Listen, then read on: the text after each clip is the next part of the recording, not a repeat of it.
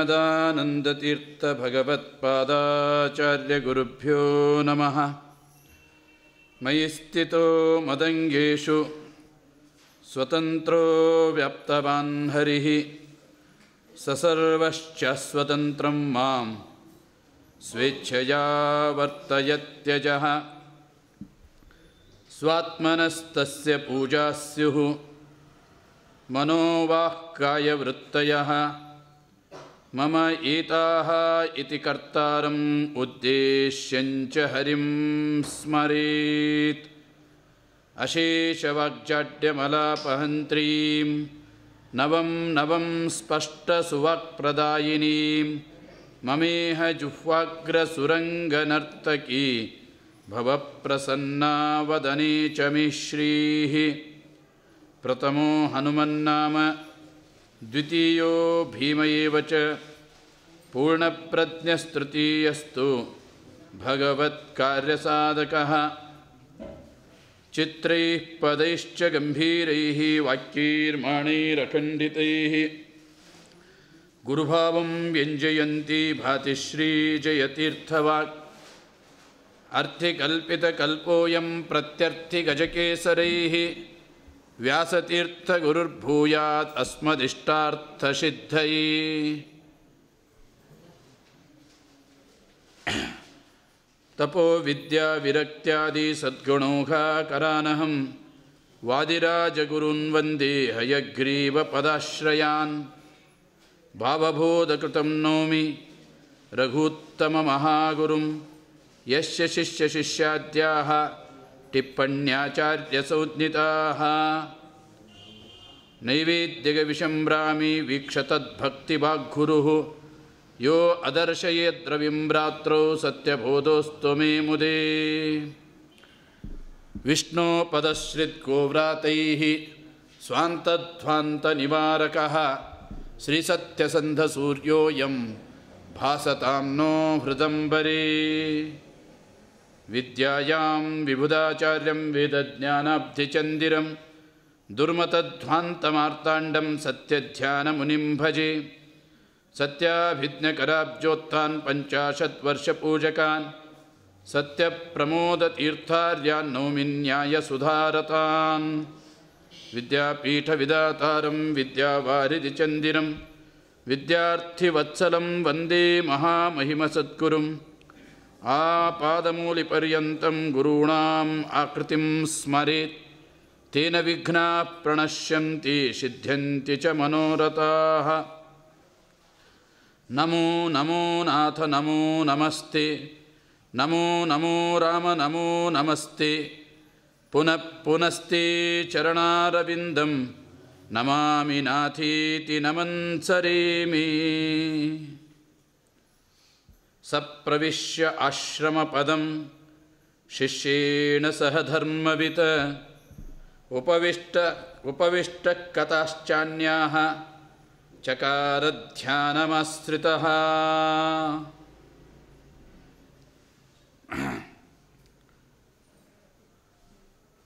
ವಾಲ್ಮೀಕಿ ಋಷಿಗಳು ಅಕಾಲಿಕವಾಗಿ ನಡೆದ ಆ ಘಟನೆಯಿಂದ ಮನನೊಂದು ಬೇಸತ್ತು ವ್ಯಾಸನಿಗೆ ಶಾಪವನ್ನು ಕೊಟ್ಟರು. ಆದರೂ ಇವರ ಮನಸ್ಸಿನ ತಾಪ ಮಾತ್ರ ಆ ಕುದಿತ, ಆ ವ್ಯಥೆ ಅದು ಶಾಂತವಾಗಲಿಲ್ಲ. ಹಾಗೂ ಹೀಗೂ ಮಾಡಿ ಅವತ್ತಿನ ತಮ್ಮ ಮಾಧ್ಯಾನ್ನಿಕ ಅನ್ನಿಕವನ್ನು ಮುಗಿಸಿಕೊಂಡು ಶಿಷ್ಯ ಭಾರದ್ವಾಜರಿಂದ ಕೂಡಿಕೊಂಡು ಆಶ್ರಮಕ್ಕೆ ಬರ್ತಾರೆ. ಅಲ್ಲಿ ಬಂದು ವಿಶೇಷವಾಗಿ ತಮ್ಮ ಮನಸ್ಸಿನ ನೆಮ್ಮದಿಯನ್ನು ಕಾಯ್ದುಕೊಳ್ಳುವುದಕ್ಕಾಗಿ. ಆ ಬಂದ, ನಡೆದ, ನೋಡಿದ ಆ ಘಟನೆಯನ್ನು ತಾವು ನೆನಪು ಹಾರಬೇಕು ಅಂತನ್ನುವ ಅಪೇಕ್ಷೆಯಿಂದಲೇನೋ ಆ ಭಗವಂತನ ಧ್ಯಾನಕ್ಕೆ ತೊಡಗ್ತಾರೆ. ವಿಶೇಷವಾಗಿ ಯಾವ ಒಂದು ವಿಶಿಷ್ಟವಾಗಿರತಕ್ಕಂತಹ ಪ್ರತೀಕದಲ್ಲಿ ಭಗವಂತನಿಗೆ ಅತಿ ಪ್ರಿಯವಾದ ಪ್ರತೀಕವದು. ಅಷ್ಟು ಶುದ್ಧವಾದ ಪ್ರತೀಕ ಜಗತ್ತಿನಲ್ಲಿ ಇನ್ನು ಯಾವುದೂ ಕೂಡ ಇರಲಿಕ್ಕೆ ಶಕ್ಯವಿಲ್ಲ.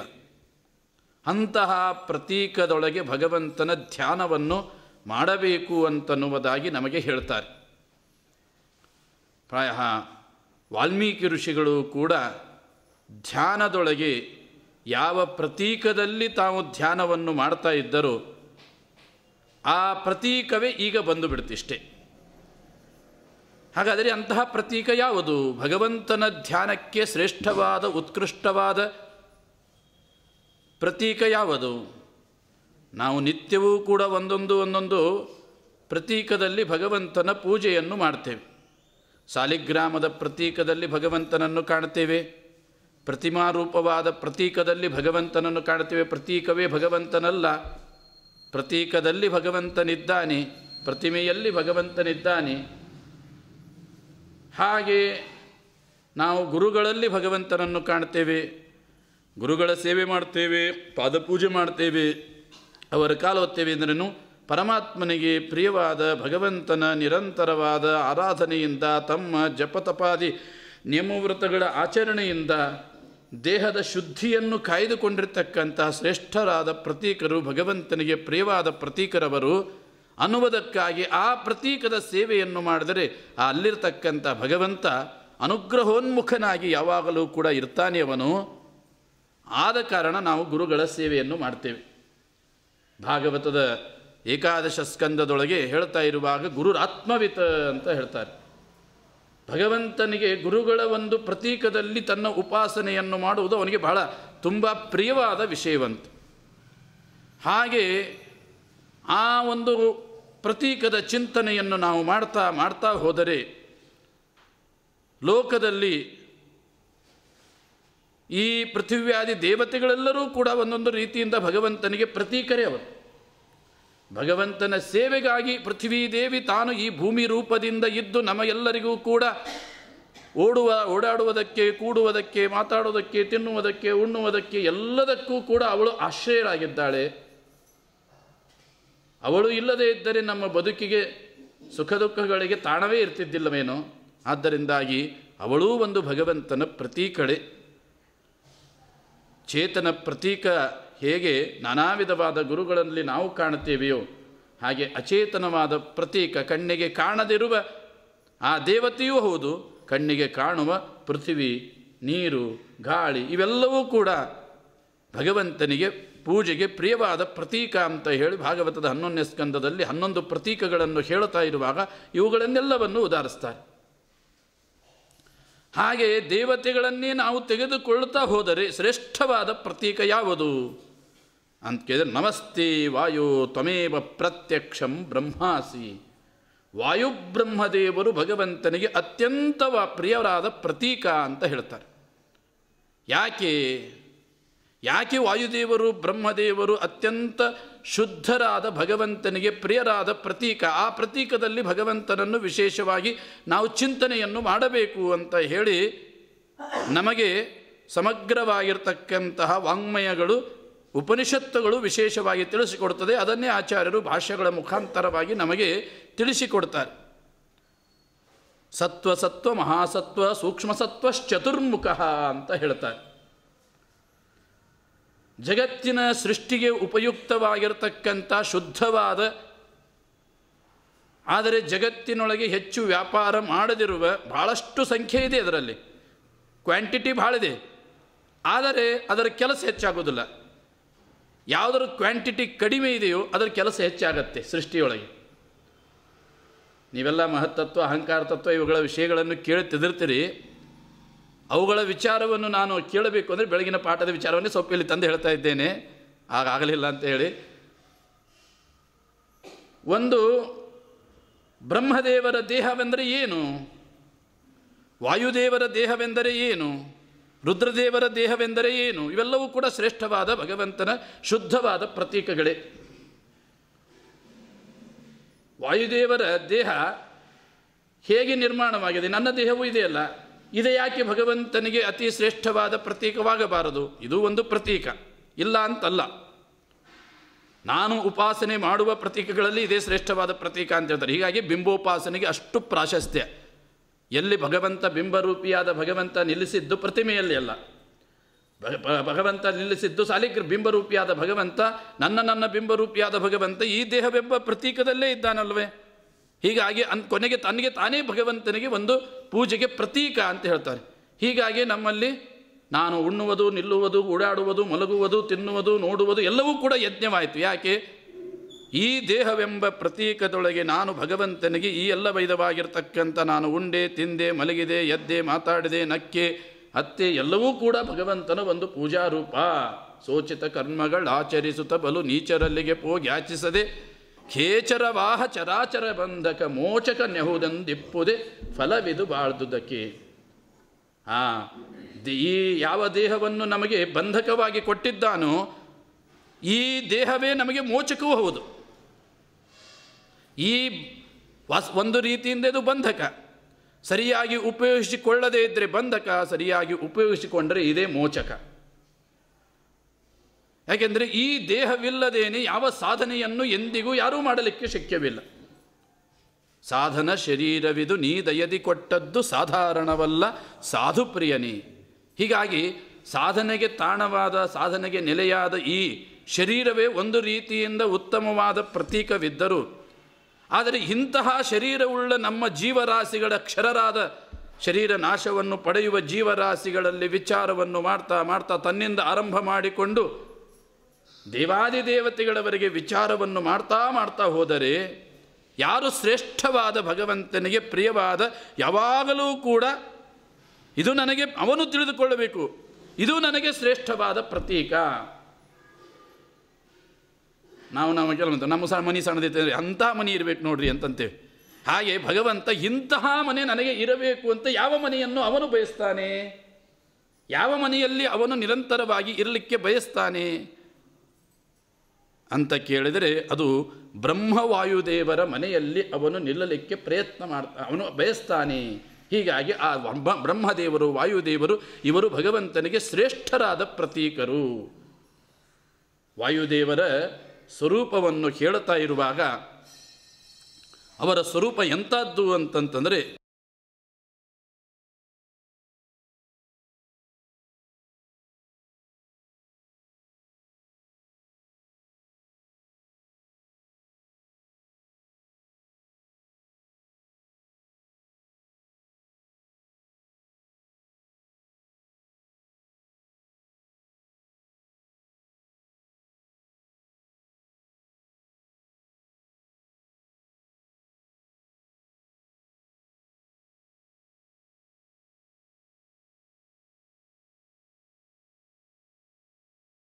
ನಿಜವಾಗಿಯೂ ದೇಹದ ಸ್ವರೂಪವನ್ನು ಹೇಳ್ತಾ ಇರುವಾಗ ಅಲ್ಲಿ ಮಹತ್ತತ್ವ ಅಂತನ್ನುವ ತತ್ವದಲ್ಲಿ ಒಂದು ಸಾವಿರ ಪಟ್ಟು ಸತ್ವಗುಣವಿದೆ. ಹತ್ತು ಪರ್ಸೆಂಟಿನಷ್ಟು ರಜೋಗುಣವಿದೆ. ಒಂದೇ ಪರ್ಸೆಂಟಿನಷ್ಟು ತಮೋಗುಣಿದೆ. ಸಣ್ಣವ್ರದೇ ಕಾರ್ಬಾರ್ ಹೆಚ್ಚು ಅಂತಂತಾರಲ್ಲ.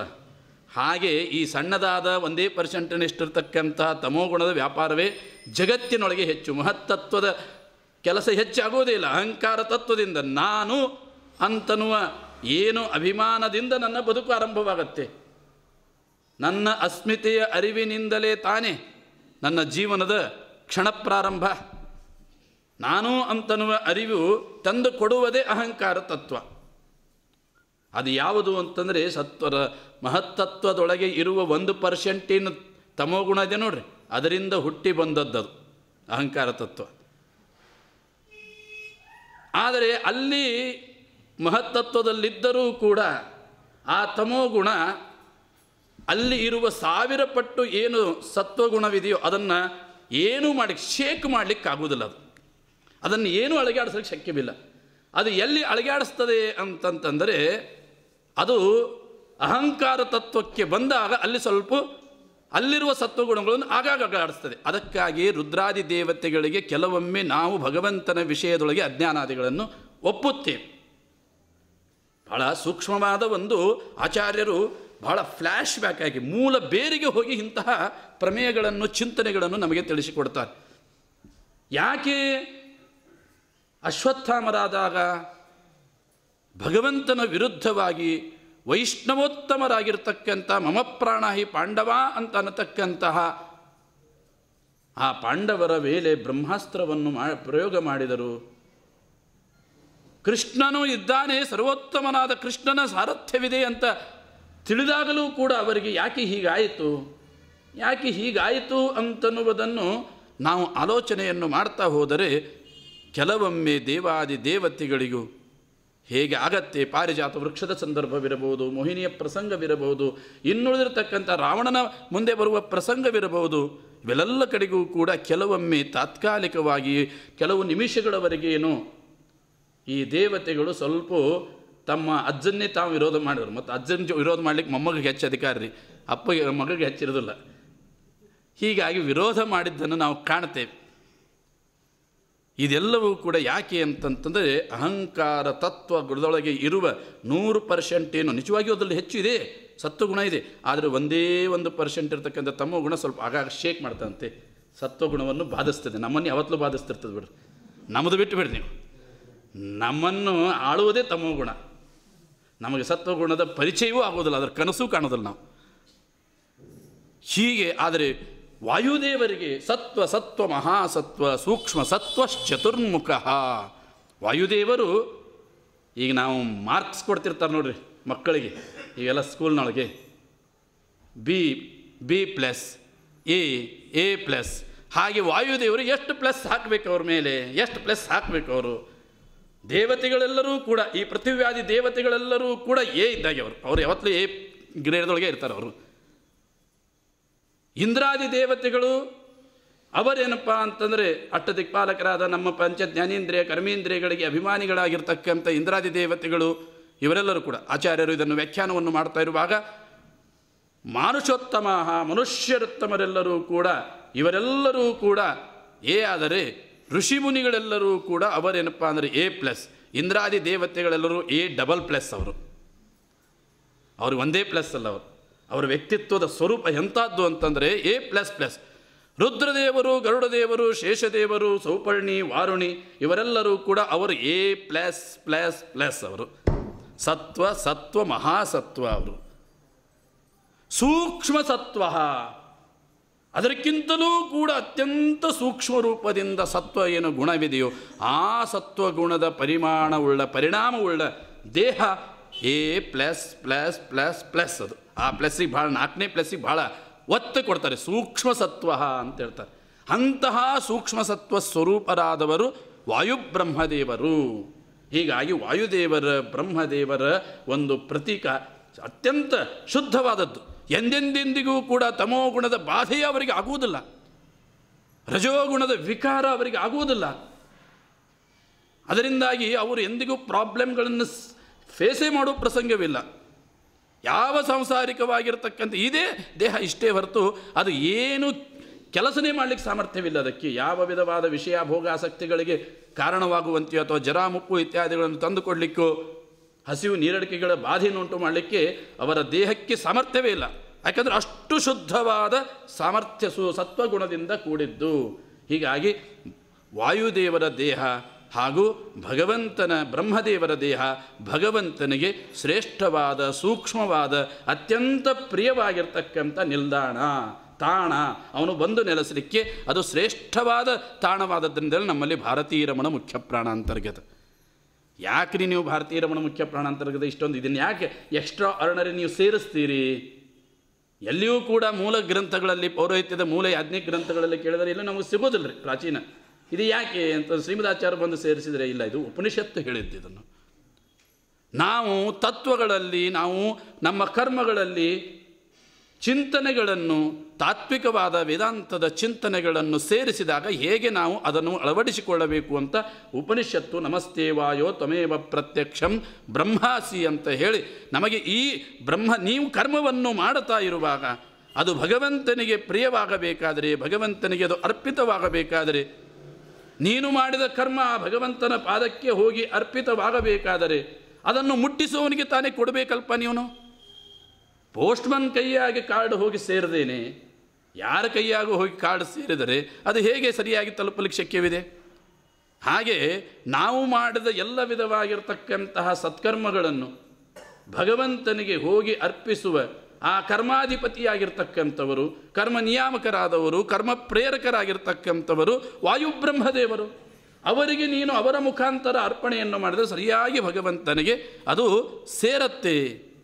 ಯಾಕೆಂದರೆ ವಾಯುಬ್ರಹ್ಮದೇವರಲ್ಲಿ ನಿರಂತರವಾಗಿ ಭಗವಂತ ತನ್ನ ಸನ್ನಿಧಾನವನ್ನು ಇಟ್ಟುಕೊಂಡು ಈ ಮುಖಾಂತರವಾಗಿ ನನ್ನನ್ನು ಕುರಿತು ಆರಾಧನೆಯನ್ನು ಮಾಡಿರತಕ್ಕಂಥ ಜೀವರಾಶಿಗಳ ಆ ಸಾಧನೆಯನ್ನು ತಾನು ಸ್ವೀಕಾರವನ್ನು ಮಾಡಬೇಕು ಅಂತ ಪ್ರೀತಿಯಿಂದ ಕಾಯ್ತಿರ್ತಾನೆ ಅವನು. ಇದನ್ನೇ ಪ್ರಾತಃ ಸಂಕಲ್ಪ ಗದ್ಯದಲ್ಲಿ ರಾಘವೇಂದ್ರ ಸ್ವಾಮಿಗಳು ಬಹಳ ಸುಂದರವಾಗಿ ಮೊದಲಿಗೆ ಏನಪ್ಪ ಅಂತಾರೆ ಮೂವತ್ತೇಳು ವಿಶೇಷಣಗಳಿಂದ ವಾಯುದೇವರ ವರ್ಣನೆಯನ್ನು ಮಾಡಿ, ಮತ್ತೆ ಐವತ್ತೇಳು ವಿಶೇಷಣಗಳಿಂದ ಭಗವಂತನನ್ನು ವರ್ಣನೆ ಮಾಡಿ, ಮತ್ತೆ ಮೂವತ್ತು, ನಲವತ್ತೇಳು ವಿಶೇಷಣಗಳಿಂದ ಭಗ, ವಾಯುದೇವರ ವರ್ಣನೆ ಮಾಡಿ, ಮತ್ತೆ ಪರಮಾತ್ಮನ ವರ್ಣನೆಯನ್ನು ಮಾಡಿ, ಸರ್ವಮೂಲದ ಸಂಗ್ರಹದಂತೆ ಅದನ್ನು ಸಂಗ್ರಹಿಸಿ ನಮಗೆ ಸುಂದರವಾಗಿ ಕೊಡ್ತಾರೆ. ಯಾಕೆ ಅಂತಂದರೆ ಅದು ಅಷ್ಟು ವಾಯುದೇವರ ಪ್ರತೀಕ ಭಗವಂತನಿಗೆ ಪ್ರಿಯ. ಹೀಗಾಗಿ ವಾಲ್ಮೀಕಿ ಋಷಿಗಳು ತಾವು ಧ್ಯಾನವನ್ನು ಮಾಡುತ್ತಾ ಇರುವಾಗ ಅವರ ಧ್ಯಾನಕ್ಕೆ ಒಲಿದರು ಧ್ಯಾನಕ್ಕೆ ಒಲಿದ ಆ ಜಗಾಮ ತಥೋ ಬ್ರಹ್ಮ, ಲೋಕಕರ್ತ ಸ್ವಯಂ ಪ್ರಭು ಚತುರ್ಮುಖೋ ಮಹಾತೇಜ, ದ್ರಷ್ಟುಂ ತಂ ಮುನಿಪುಂಗವಂ. ಸಾಕ್ಷಾತ್ ಬ್ರಹ್ಮದೇವರು ಅಲ್ಲಿ ಬಂದಿದ್ದಾರೆ. ಆ ಬ್ರಹ್ಮದೇವರನ್ನು ನೋಡಿದ ತೇಜೋಮಯವಾದ, ಅದ್ಭುತವಾಗಿರತಕ್ಕಂಥ ರೂಪ. ಧ್ಯಾನಿಗಳಿಗೆ ಧ್ಯಾನವನ್ನು ಮಾಡುತ್ತಾ ಇರುವಾಗ ಶ್ರೇಷ್ಠವಾದ ಪ್ರತೀಕದಲ್ಲಿ ಭಗವ, ಆ ಪ್ರತೀಕದ ಜೊತೆಗೆ ಭಗವಂತನ ಅವರಲ್ಲಿರುವ ಪರಮಾತ್ಮನ ರೂಪವು ಕಾಣಿಸ್ತದೆ. ದಕ್ಷ ಪ್ರಜಾಪತಿಯ ಯಜ್ಞದ ಸಂದರ್ಭದೊಳಗೆ ರುದ್ರದೇವರು ಧ್ಯಾನಂಗತರಾಗಿ ಇದ್ದರು, ಎದುರಿಗೆ ಬ್ರಹ್ಮದೇವರು ಕುಳಿತುಕೊಂಡಿದ್ದರು. ಆ ಎದುರಿಗೆ ಬ್ರಹ್ಮದೇವರು ಕುಳಿತುಕೊಂಡ ಕ್ಷಣ ಅವರಿಗೆ ಅನಿಸ್ತು ಇಂತಹ ಶ್ರೇಷ್ಠರಾದ ನಮ್ಮಪ್ಪ ಬ್ರಹ್ಮ ಕುಳಿತುಕೊಂಡಿದ್ದಾನೆ, ಅವನಲ್ಲಿ ಮಾಯಾಪತಿ ವಾಸುದೇವ ರೂಪಿಯಾದ ಭಗವಂತ ತೇಜೋ ರೂಪದಿಂದಿದ್ದಾನೆ ಅಂತ ಹೇಳಿ ಒಂದು ಬಾರಿ ಚಿಂತನೆ ಮಾಡಿ ಧ್ಯಾನ ಮಾಡಲಿಕ್ಕೆ ಪ್ರಾರಂಭ ಮಾಡಿಬಿಟ್ರು. ಹಾಗೆ ಇಲ್ಲಿ ಬ್ರಹ್ಮದೇವರು ಆ ಭಗವಂತನ ದಿವ್ಯವಾದ ಸನ್ನಿಧಾನದಿಂದ ಕೂಡಿದ ಬ್ರಹ್ಮದೇವರು ಬಂದಿದ್ದಾರೆ. ಬ್ರಹ್ಮದೇವರು ಬಂದಾಕ್ಷಣ ಗಡಿಬಿಡಿಸಿಕೊಂಡು ಹೇಳುತ್ತಾರೆ. ಸಹಸಾ ಉತ್ಥಾಯ.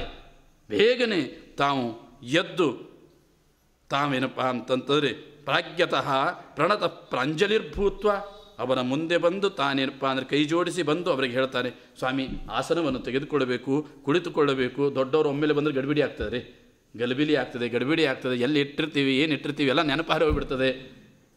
ಹುಡುಕೆ ಹುಡುಕೆ ಆಡ್ತೀವಿ ಮತ್ತು ಮಗ್ಲಿಕ್ಕೆ ಇರ್ತದೆ ಕೊನೆಗೆ ಅದು ಹಾಗೆ ಇರ್ತದೆ. ಹಾಗೆ ಒಮ್ಮೆಲೆ ಬಂದಾಕ್ಷಣ ವಾಲ್ಮೀಕಿ ಋಷಿಗಳು ಕೂಡ ಸಹಸಾ ಉತ್ಥಾಯ.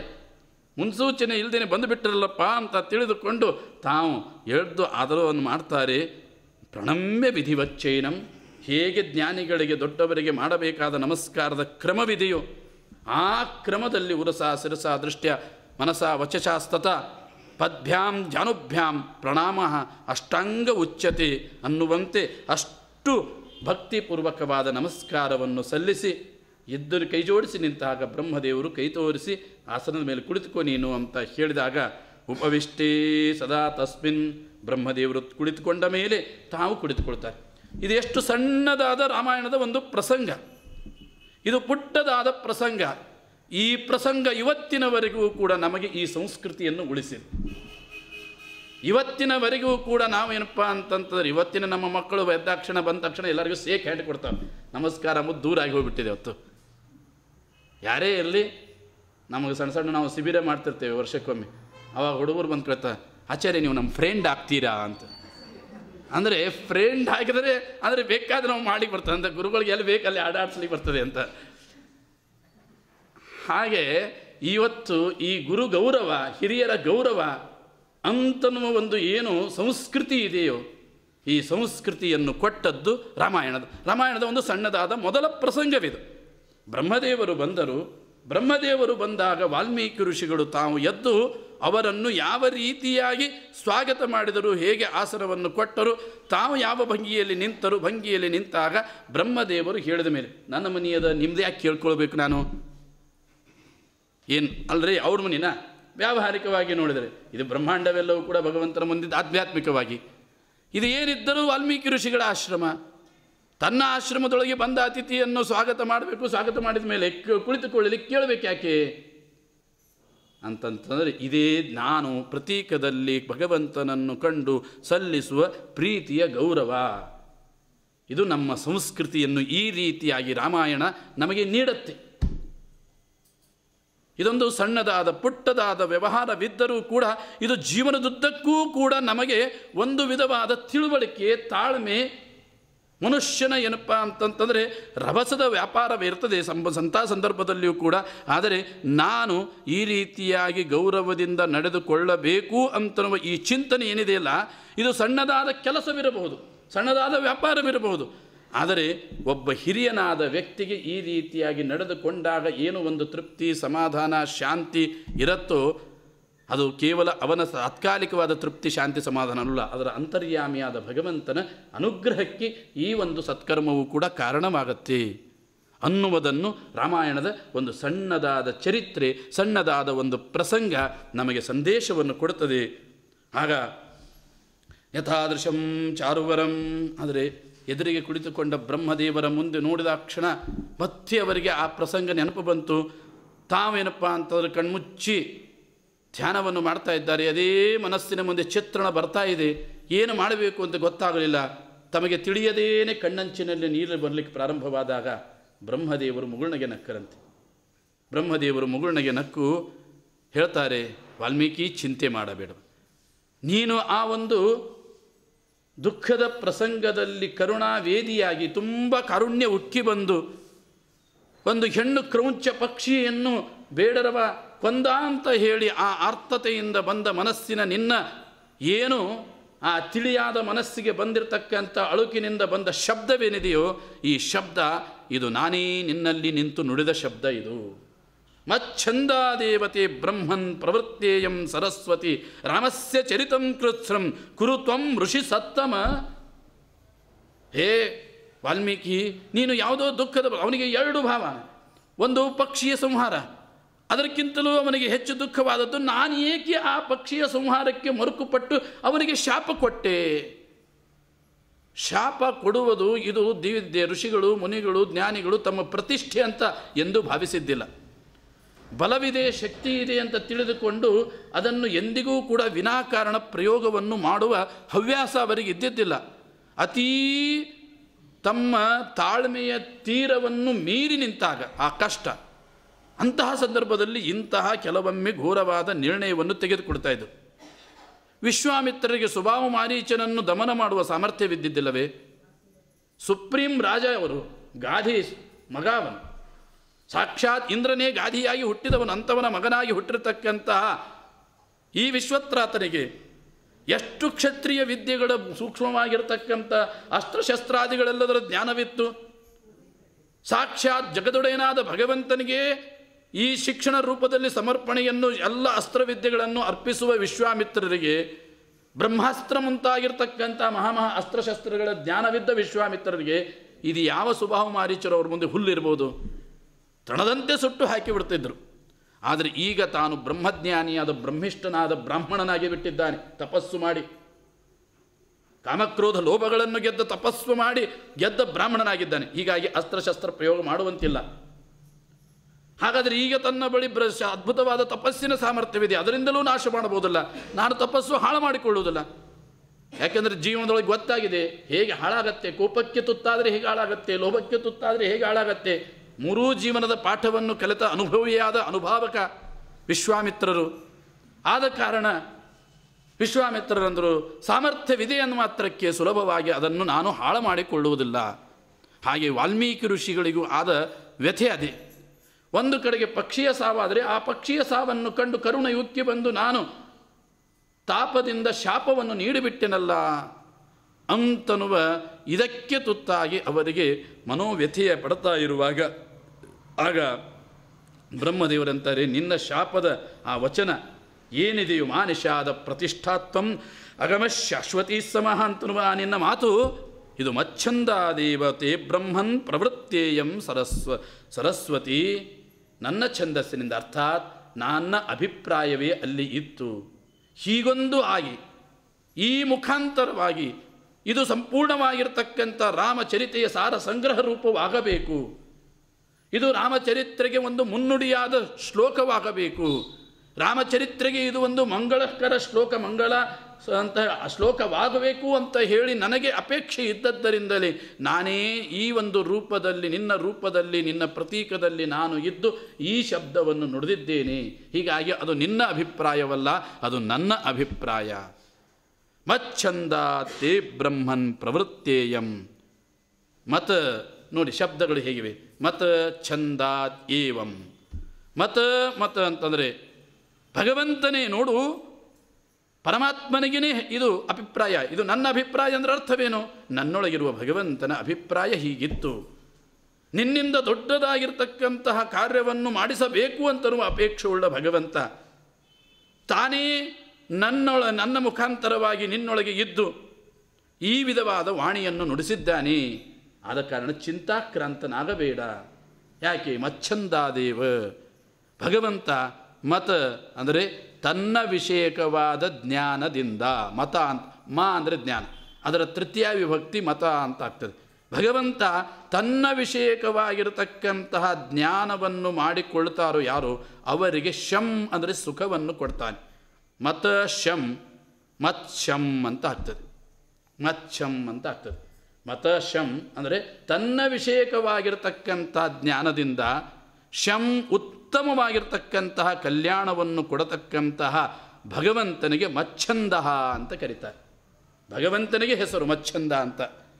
ಯಾಕೆ ಅಂತಂದರೆ ತನ್ನ ವಿಷಯಕವಾಗಿರತಕ್ಕಂತಹ ಜ್ಞಾನದಿಂದ ಉತ್ತಮವಾದ ಶಂ ಸುಖವನ್ನು ದದಾತಿ ಕೊಡುತ್ತಾನೆ. ಮತ ಅಂತಂದರೆ ತನ್ನ ವಿಷಯಕವಾದ ಜ್ಞಾನ ಶಂ ಅಂತಂತಂದರೆ ಆ ಜ್ಞಾನದಿಂದ ಪರಮವಾಗಿರ್ತಕ್ಕಂಥ ಕಲ್ಯಾಣ ಸುಖವನ್ನು ದದಾತಿ, ಕೊಡುತ್ತಾನೆ. ಆದ್ದರಿಂದ ಭಗವಂತನಿಗೆ ಮಚ್ಛಂದ ಅಂತ ಹೆಸರು. ಆ ಮಚ್ಛಂದಾತ್ ಅಂತ ಹೇಳಿ ಅಲ್ಲಿ ಪಂಚಮಿ ಭಕ್ತಿ, ಅಂದರೆ ಆ ಮಚ್ಛಂದ ಅಂದರೆ ಭಗವಂತ ಮಚ್ಛಂದಾತ್ ಅಂದರೆ ಭಗವಂತನಿಂದಾಗಿ, ಭಗವಂತನ ದೆಸೆಯಿಂದ ಅಂತ ಕನ್ನಡದೊಳಗೆ ಟ್ರಾನ್ಸ್ಲೇಟ್ ಮಾಡಬೇಕಾದ್ರೆ. ಭಗವಂತನ ಅಪೇಕ್ಷೆಯಿಂದ ಅಂತ ಅರ್ಥ. ಭಗವಂತನ ಅಪೇಕ್ಷೆಯಿಂದ ಈ ಶ್ಲೋಕ ಶ್ಲೋಕದಲ್ಲಿ ನೀನು ಇದ್ದರೂ ಕೂಡ ಶ್ಲೋಕ ರೂಪದಲ್ಲಿ ಈ ಶಬ್ದ ಹೊರಟಿದೆ. ಆದ ಕಾರಣ ನೀನು ಚಿಂತೆಯನ್ನು ಮಾಡಲಿಕ್ಕೆ ಹೋಗಬೇಡ. ಈ ಮುಖಾಂತರವಾಗಿ ನಾನು ನಿನಗೆ ಅನುಗ್ರಹವನ್ನು ಮಾಡಲಿಕ್ಕಾಗಿ ಬಂದಿದ್ದೇನೆ. ನಿನ್ನಿಂದ ದೊಡ್ಡದಾದ ಕಾರ್ಯವಾಗಬೇಕು. ಮಹಾಜ್ಞಾನಿ ನೀನು, ಕವಿ ನೀನು. ಎಂದೆಂದಿಗೂ ಕೂಡ ನಾರಸಿಕೃತೆ ಕಾವ್ಯಂ. ಋಷಿ ಆಗದಿದ್ದವನು ಜ್ಞಾನಿ ಆಗದೇ ಇದ್ದವನು.